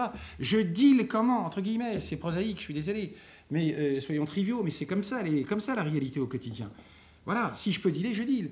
Si je dois contester tout et de manière méchante et brutale, je le fais. Donc c'est euh, quels sont les intérêts en présence. Hein? Euh, finalement c'est la prise en compte de la gueule du client. Non mais c'est ça le truc. Moi je, revenons à des choses extrêmement basiques. Présentez-vous, ce serait mieux parce que. Et prenez un micro. Il y a, il y a deux micros qui circulent. Euh, je, je, ferai la remarque que le problème, c'est que quand on arrive en garde à vue, on n'arrive pas en terrain neutre. Ah, bien sûr. On vient avec des euh, préjugés de la part des OPJ, parce que euh, peut-être notre profession n'a pas assez balayé devant sa porte concernant certains confrères qui se sont très mal comportés, notamment dans des, dans la, en matière de criminalité organisée. C'est-à-dire? Non mais allez-y. ah bah écoutez, enfin si vous si vous écoutez les, enfin quand vous arrivez, moi ça m'est arrivé d'arriver à la brigade criminelle. Ouais et on m'a euh, donc euh, barré le passage en me disant même pas bonjour, je ne connaissais pas hein les OPJ, et c'est je vous préviens, maître, il y a le moindre incident, c'est saisine du bâtonnier. Sur ce, bah, j'ai répondu bonjour. Non, non, mais très bien. Mais oui, non, mais ce que je veux dire, c'est que ça met déjà une espèce de. Bah, faites-le. Ce qu'il faut leur répondre, c'est faites-le. Oui, bien sûr. non, mais moi, je j'ai pas, j'ai pas de souci. Euh, enfin, d'abord, j'aurais dit, écoutez, bonjour déjà, premièrement, et puis ensuite, faites ce que vous voulez. Moi, je, fais mon travail, vous faites le vôtre, et puis basta. Les futurs membres du Conseil de l'ordre, vous les avez là, et euh, ils vous répondront. Non, mais attendez, saisine du bâtonnier, qui va vous répondre à l'ordre non, mais on, rêve. Comme c'est juste, vous avez raison, Jean Boite, mais c'est juste d'instruction qui nous téléphone pour nous dire oui, euh, il y a un avocat en garde à vue, là, il est en conflit d'intérêt. Et c'est pas le juge d'instruction qui est juge du conflit d'intérêt. Le texte nous dit c'est l'avocat. Moi, j'ai eu un juge d'instruction, j'étais pas en garde à vue, mais j'ai eu un juge d'instruction qui m'a interdit d'intervenir en garde à vue parce qu'il avait décidé que j'étais en conflit d'intérêts. Donc quand l'OPJ a téléphoné à 6h du mat, il a dit le juge d'instruction vous interdit d'y aller. Est-ce que vous connaissez quelqu'un Est-ce qu'il y a quelqu'un d'autre qui peut y aller? Oui, non, mais dans ce cas, bon, euh, il faut bien évidemment avertir le bâtonnier. Il y a des membres du conseil qui sont là pour résoudre ces difficultés, et on, les résout bien généralement. Hein. Euh, on sort de la parano. Mais continuez là-dessus. non, mais parce que ce que je voulais dire, c'est que j'ai le sentiment qu'on constitue une menace pour certains policiers, pas pour, pas pour tous, hein, parce qu'il y en a qui, avec qui les rapports sont très bons. Mais pour certains policiers, on constitue une menace parce que euh, on pourrait remettre en, cause leur, leur, travail et leur expérience, mhm. et qu'on intervient finalement avec l'accès au dossier, on, serait intervenant dans leur manière d'exercer leur métier. et on, on, remet en cause la culture de l'aveu, parce que c'est vraiment ça le problème, c'est la culture de l'aveu. Mm. Oui, mais alors la culture de l'aveu, je suis d'accord, mais la culture de l'aveu, vous savez, euh, il n'y a pas de garde à vue, euh, il n'y a pas de perquisition, ce qui ne soit déjà, comment dirais-je, euh, l'indication d'un stade, avancé de l'enquête. On ne débarque pas comme ça pour perquisitionner, pour le plaisir de perquisitionner. Il y a déjà des, écoutes téléphoniques, bon, il y a déjà énormément d'indices qui sont récoltés, et on va là parce qu'on sait qu'il y a quelque chose. C'est évident, sinon on n'y va pas. Donc, euh, je ne sais plus ce que je voulais vous dire. J'ai un trou de mémoire à l'instant, mais c'est pas grave. Oui, et puis il y a la, culture, du euh, je prêche le faux pour avoir le vrai aussi. Hein. Oui, il faut revenir de ça. Je ne suis pas sûr qu'aujourd'hui, on soit autant attaché à la parole elle-même. Hein, puisque aveu mode de preuve comme un autre. Donc, on a besoin d'autre chose. La culture de l'aveu, moi je verrais plus confirmation. C'est-à-dire confirmation d'une situation existante. Voilà, on sait qu'on a des tas d'indices, on sait que c'est lui, mais la parole viendra confirmer déjà euh, la collecte d'un ensemble d'indices. Moi, je le vois plus comme ça. Oui, ça dépend des dossiers. Comme de preuve, euh, ça dépend des dossiers, parce qu'il y a des dossiers qui sont, d'un point de vue matériel, très mal ficelés, et on attend tout de l'aveu. Et on prêche le faux pour obtenir le vrai. Oui, mais ça, mais chacun. Mais attendez, il y a un truc, c'est qu'ils sont enquêteurs. Euh, je justifie pas, mais on est là, nous, on, on, est là pour faire quoi? Ils attendent une seule chose de nous, pour contester, même s'ils sont pas contents.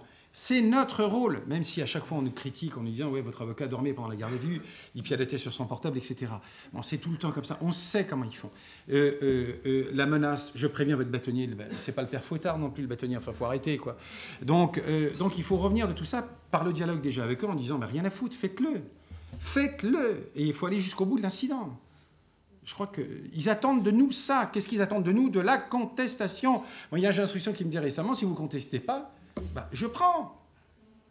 Voilà, on est des avocats, on n'est pas des auxiliaires. Enfin, de justice, à peine, à peine, je ne suis pas sûr, mais ni de, ni de la police, ni du parquet, ni des juges d'instruction. On est là pour contester et pour dealer éventuellement. On n'est pas là pour dénoncer. Donc euh, voilà, ça la délation qui pointe au bout de son nez de temps en temps. Là, il faut être vigilant là-dessus et sur des comportements comme cela, il faut, il faut Oui, et puis c'est les conséquences sur le, client aussi. oui, mais vous gérez, c'est ce qu'on disait tout à l'heure. C'est ce qu'on en parlait avec Cédric et avec vagues. L'intérêt du client, c'est quoi l'intérêt du client? Que vous risquez de perdre à cause de, de, vos relations. C'est pas une, non, non, pas une question de perdre. Non, non, ça n'a rien à voir. c'est possible. Non, non, c'est sur le, déroulement de la garde à vue et le comportement des policiers pendant la garde à vue. Vous n'avez pas à chercher l'affection de l'OPJ, c'est pas votre copain. Enfin, je sais pas si. Non, mais je suis pas en train de parler de ça. Je suis en train de parler euh, de euh, nous, la contestation et l'incident. Quelle est, quelle est, la conséquence de ça, même si on remplit notre rôle, sur, le, sur le déroulement de l'enquête, effectivement, et sur le, sur, le client. Mais il ne peut pas y avoir... Non, mais à mon avis, la conséquence de la contestation, ça n'est pas une conséquence négative. Contester, c'est exercer les droits à la défense. C'est invoquer la présomption d'innocence. On est sur des présomptions de culpabilité disséminées partout, aujourd'hui, dans les textes euh, du Code pénal. et la loi de, de lutte contre la faute fiscale le démontre bien. Donc si on ne conteste pas, non, il ne faut pas renoncer à ce rôle de contestataire.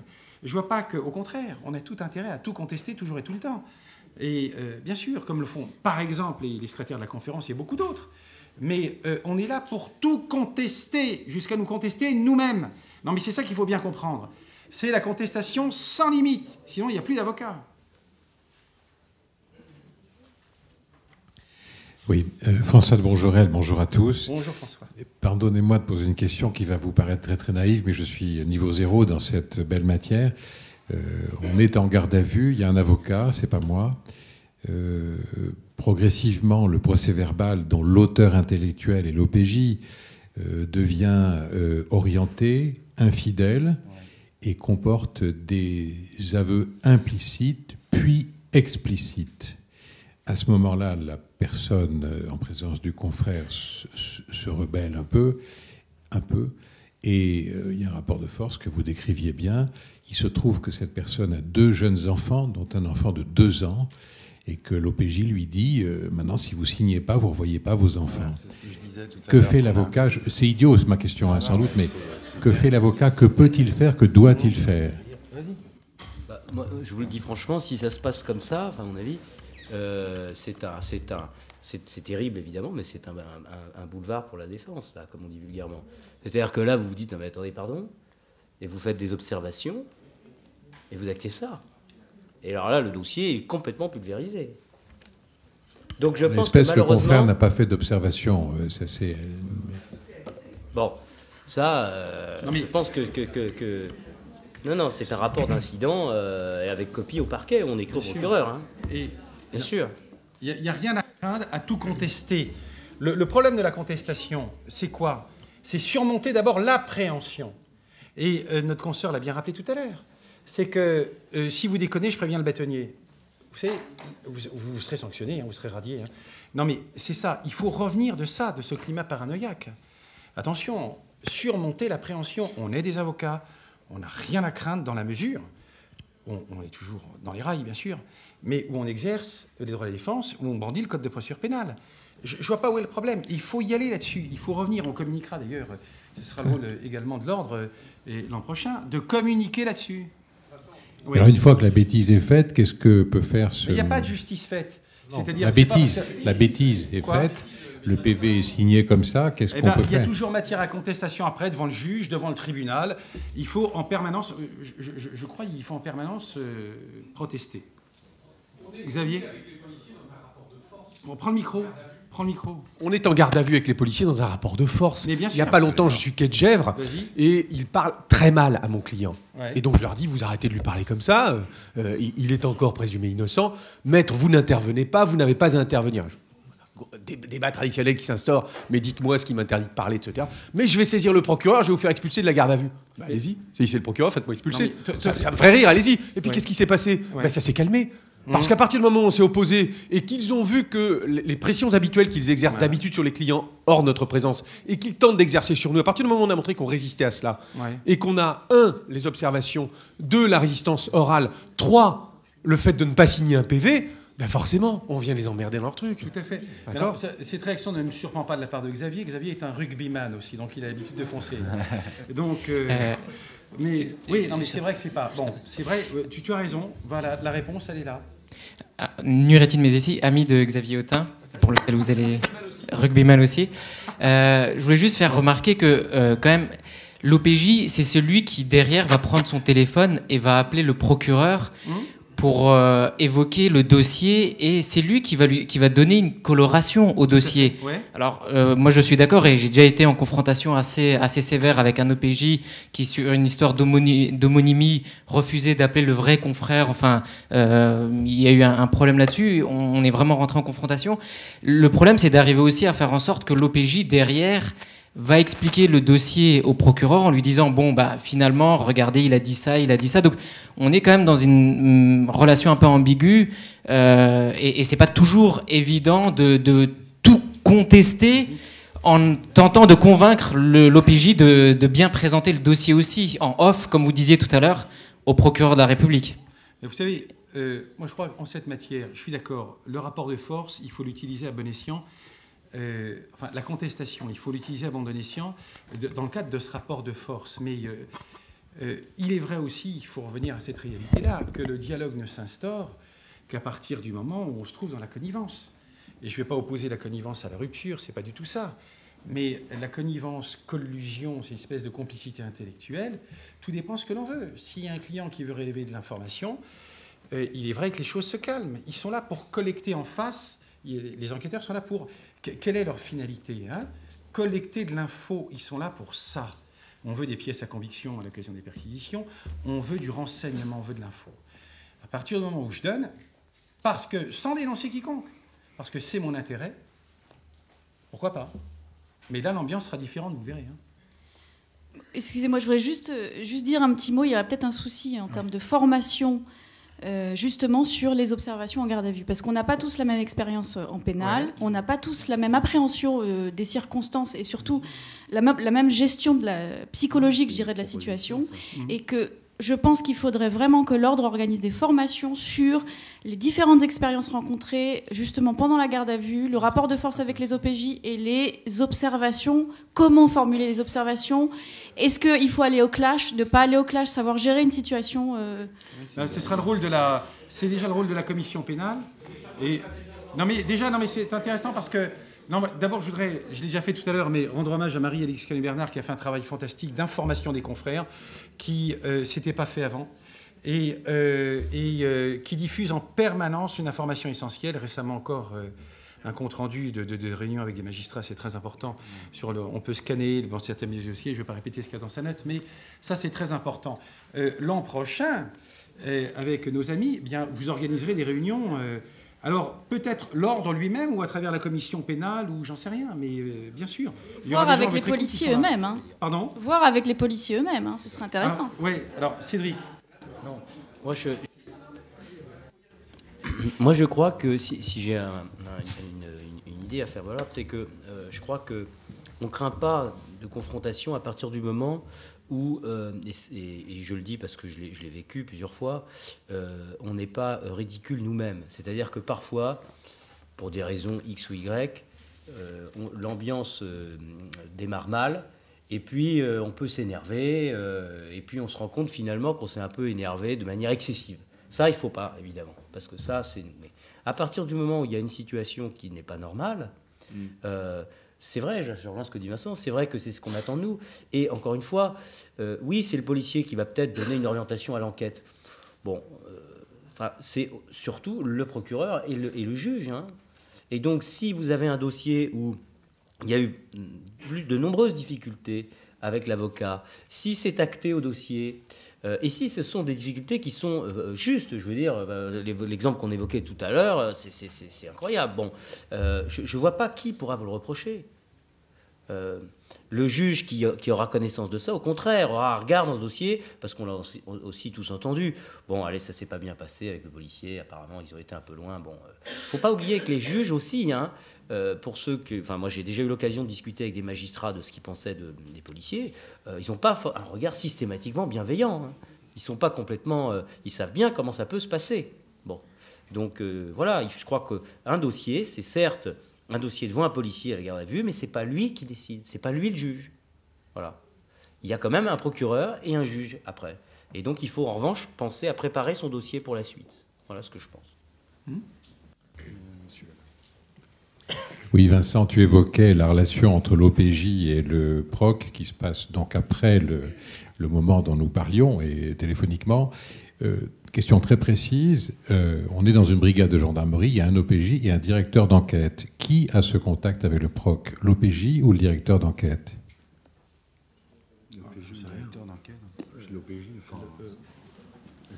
En pratique, l'un ou l'autre indifféremment. Mais, indifféremment. Oui, tout dépend quelle, quelle, quelle, quelle gendarmerie, j'en sais rien. C'est en province, ils sont tous. Euh, ouais. Mais indifféremment. Il y a encore une question, non Je veux pas. Ah oui, présente-toi. Fabien Foucault, avocat fiscaliste. Micro pour Fabien. On arrive. Merci. Donc moi j'ai bien connu les perquisitions puisque c'est Vincent même qui m'a défendu dans une affaire, HSBC on a tout gagné. Hein. On a tout gagné. C'est la dernière fois. Hein. Ah oui Depuis, c'est plombé. Ah, d'accord, ok. donc bravo, bravo à vous. Euh, moi, je suis très intéressé donc, par la loi sur la fraude fiscale. Donc, je voulais savoir si vous avez des informations sur la date à laquelle le Conseil constitutionnel devrait rendre son avis. On ne sait jamais. On Bientôt, ne sait jamais là, ça. Dans, ça, là, ça va tomber. sous peu. Mais je, voudrais. Si c'est la je, attends, je voudrais juste euh, interrompre euh, Fabien Foucault. Fabien Foucault, c'est l'avocat de la défense. L'avocat de la défense. Il a dit qu'il avait été perquisitionné. D'accord? La tendance aujourd'hui, mais on en parlera le 18 décembre en présence des juges hein, eux-mêmes, hein, c'est préférable. Et c'est la première fois que c'est organisé parce qu'il a fallu le, motiver M. Daïev pour qu'il vienne. Hein. L'avocat de Mais euh, il est l'avocat des défenses et c'est avocat euh, de la défense en cette qualité qu'il a été perquisitionné. Il y a euh, trois semaines, il y a eu une perquisition fiscale LCSB. L'administration avait demandé la présence je, t'en ai pas parlé, mais depuis, euh, de quatre délégués du bâtonnier d'accord, à quatre endroits différents le matin. On ne sait pas où, bref. Et puis, euh, il y avait un autre cabinet d'avocats, donc euh, un délégué du bâtonnier pour un cabinet d'avocats. On se dit, c'était un avocat qui était perquisitionné. Mais tiens, je dis, mais pourquoi ce deuxième cabinet d'avocats Qu'est-ce que ça veut dire? Et on dit, c'est un cabinet tiers en relation avec l'avocat fraudeur. Bon, d'accord. Et cabinet tiers. En fait, c'était l'avocat des défenses c'était l'avocat de l'avocat. Donc perquisition chez l'avocat de la défense. On a fait des protestations, on a mené en fer, et c'est là où le PJ a pris la défense des droits de la défense et s'est pris de bec avec l'administration. Bref, on a obtenu des tas de trucs, on a fait des réserves partout, mais pour dire c'est ça la tendance. Et euh, ou l'avocat de la défense au pénal qui est convoqué chez les flics, ça arrive aussi. Alors qu'il n'est rien dans le dossier, hein, mais rien, il a plaidé en correctionnel. Donc parce qu'il y a l'instruction du parquet en ce sens. C'est la dérive. C'était un LCSB ou c'était une perquisition Non, c'était un LCSB. Non, et là, un LCSB, là, ce que je viens de dire. Mais euh, Fabien, c'était une perquisition judiciaire. J'en parle parce que tu en as parlé. Mais Fabien, lui, il n'avait rien à se reprocher. Il était l'avocat de la défense. Et donc, euh, on avait fait placer sous scellé fermé des tas de documents importants. On a tout gagné devant un JLD. C'est la dernière fois, c'est en 2010, où un JLD nous rend une ordonnance magnifique. Après, on a gagné sur les notes d'honoraires, mais depuis, c'est plombé. On ne peut plus rien gagner devant le JLD de Paris actuellement. Mais je le dirai à M. Parlos, depuis le passage de M. Parlos, je le dirai publiquement, c'est mort. Mais euh, il va falloir changer d'état d'esprit. Alors moi, dans le cadre d'une LCSB, par exemple, où j'assistais ma cliente, euh, l'OPJ me dit, mais vous faites opposition à poursuite parce que j'avais des choses que je refusais, que je contestais justement, et ils m'ont dit, je vais vous mettre en garde à vue. eh bien, allez-y, faites, ça, mettez-moi en garde à vue, on verra ce qui va se passer. voilà. Donc ça peut arriver, mais voilà, faut être, faut être fort par, certains moments. Donc tu confirmes que à ce moment-là, le problème de la contestation, et c'est ce que les. Euh, je sais pas, il faut donner des cours de, psychologie, on ne sait rien. C'est surmonter l'appréhension. Mais ça, non, mais sortez de la culpabilité. Ça, nous, en matière fiscale, on a l'habitude, puisqu'on a l'habitude d'aider nos, bah, contribuables bah, dans les contrôles fiscaux, etc. Bah, Donc on a l'habitude d'être un peu fort, ou en tout cas de, négocier et en même temps d'être fort. Donc voilà, c'est. Enfin Ma question, j'avais une question, c'était sur. Vous avez parlé d'un article, alors Cédric, un article 706-105 du Code de procédure pénale. Il est là. Où vous avez droit Il a lu, Cédric. à l'accès au dossier si c'est un crime en bande organisée, c'est- ça Ouais.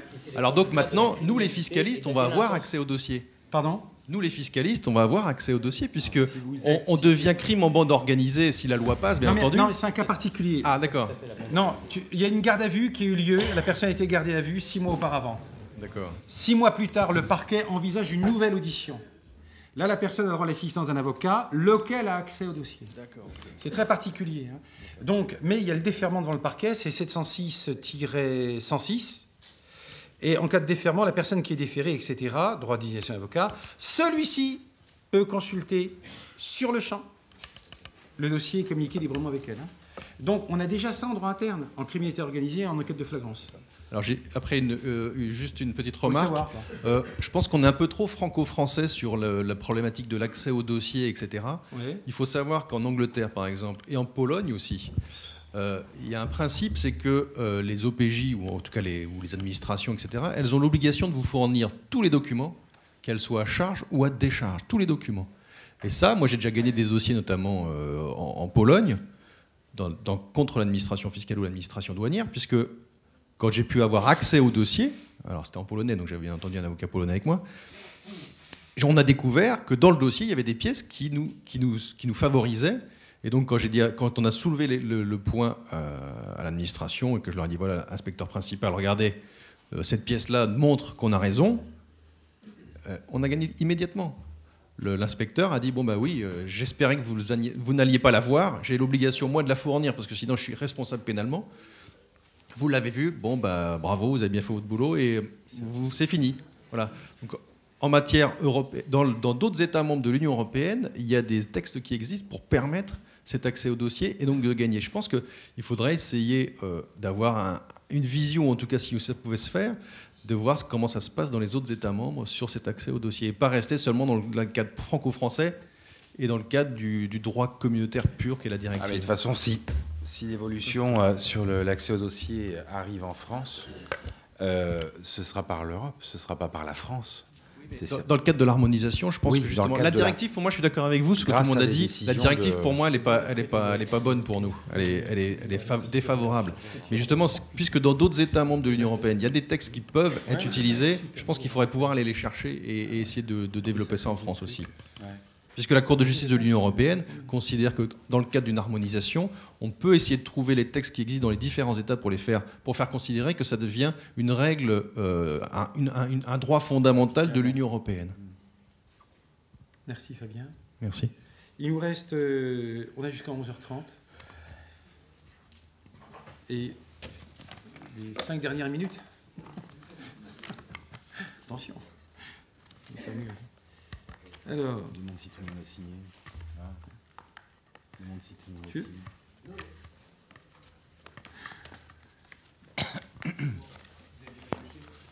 Micro. Xavier Payuchet. Alors, micro. Non, non, mais prenez le micro, c'est mieux. Vous êtes filmé, enregistré, après on communique tout à la brigade financière. Non, c'était juste pour revenir sur cette fameuse directive, puisqu'on a la consigne euh, par l'ordre de soulever euh, systématiquement devant euh, les juridictions correctionnelles le non-accès au dossier, et il y a aussi consigne pour les avocats en garde à vue de soulever systématiquement et de, de marquer sur leurs observations qu'ils n'ont pas eu accès au dossier. Euh, de ce que j'entends aujourd'hui, je, je me demande la pertinence en fait de, de- de cette chose-là. Alors, je vais, vous, je vais vous répondre. Il y a deux aspects, très vite. D'abord, euh, il y a mon, interprétation que je livrais pour qu'on en discute, ça a été euh, discuté, euh, de l'article 6 de la Convention européenne des droits de l'homme, et après il y a la directive. Bon. Bien sûr qu'il faut faire. Enfin, après, moi, moi je suis plutôt pour que chacun apprécie en fonction de son dossier. Bon, voilà. Mais bien sûr, il faut, il faut le soulever. Voilà. En revanche, euh, ce que je pense, ce que j'estime, c'est que je ne suis pas certain que euh, euh, l'article 6 voilà, impose l'accès complet au dossier. Mais ça se discute, hein, évidemment. Ça ne veut pas dire qu'il ne faut pas le soulever. Il faut le défendre, en tout cas. Peut-être c'est plus défendable sur l'article 6 que sur la directive. Ah, bah, je pense, oui.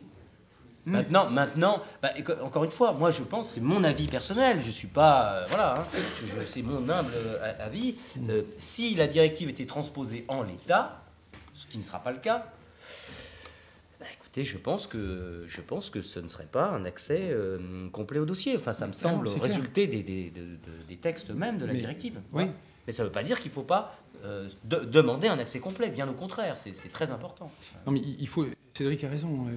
Euh, bon, il y a le regard lucide qu'on peut avoir parce que et merci à Cédric d'avoir euh, explosé la directive 2012. C'est-à-dire, il faut éviter de sacraliser certains textes qui, ne le méritent pas.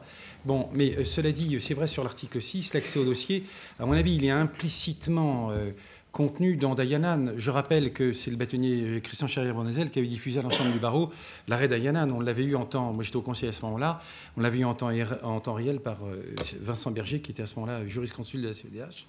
Il nous l'avait envoyé et on l'avait diffusé immédiatement à tous les confrères. Donc Dayanan, euh, il y, a, bon, il y a la lettre d'Ayanan et l'esprit, il est évident qu'on ne peut pas discuter préparer la défense sans avoir accès au dossier. Alors quels éléments? Tout ça c'est très compliqué parce qu'on est dans le cœur de l'enquête. Hein. le débat, c'est qui détient l'information. L'efficacité de l'enquête, c'est quoi? C'est la rétention d'informations. Ah il va y avoir. C'est pas sa révélation. Hein. Il va y avoir un gros travail de lobbying jusqu'en 2016. Ah ouais? on, est, on a loupé la loi, franchement. Je vous donne mon avis sur la fraude fiscale on a loupé l'OPSI. Là, on a trois ans. Voilà. Mais attention, il y a une interprétation à faire. Il y a une interprétation de la notion essentielle qui est la participation effective à l'interrogatoire. Interprétation euh, restrictive, sans doute, ou interprétation extensive. Dans la transposition de la directive, on a trois ans pour expliquer que voilà, vu l'état actuel du droit, vu l'état actuel des arrêts qui tombent, vu le statut du parquet, l'harmonisation euh, éventuelle de l'enquête, de l'information, il est naturel qu'aujourd'hui, voilà, on a trois ans. Mais euh, oui, alors on a loupé, euh, je rappelle qu'il y a eu un, important travail de l'ordre de Paris. non, mais qui n'a pas abouti. Non, mais qui n'a pas abouti. Qui abouti quand même. Non, non, non, non, non, non, non. non. Il y a des travaux qui aboutissent, on le sait moins. Mais l'Ordre de Paris s'est mobilisé, Madame le bâtonnier, Christiane Ferralchoul, Marie-Élix, Canu Bernard notamment, et le CNB, qui à ce moment-là était présidé par euh, le bâtonnier Christian Charrier Bornazel. Et c'est William Feugère, qui est avec euh, Anne Vaucher également, qui sont montés au créneau au nom du CNB, donc pour défendre les positions du barreau de France. Donc euh, c'est très important. Il y a eu des combats, bien sûr, des rencontres avec Yann Évidemment, évidemment. mais c'est très. Mais c'est vrai que tu le sais. Non, mais c'est très compliqué on n'est pas forcément bien accueilli, même si. Euh, voilà, non, c'est très compliqué. Donc il faut des gens qui consacrent une partie de leur temps au combat pour la mmh.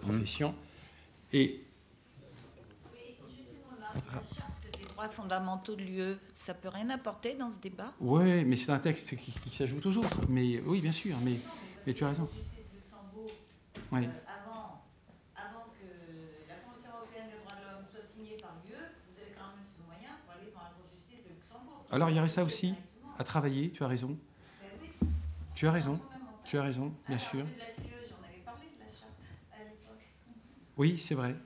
Et euh, merci beaucoup pour ton intervention. Alors, euh, d'autres questions? Voilà. Ben, encore merci à Madame la bâtonnier de nous avoir mis gracieusement euh, à disposition cette salle. Attention, la prochaine fois, si vous êtes aussi nombreux, ce sera ici, mais ce sera payant. À bientôt.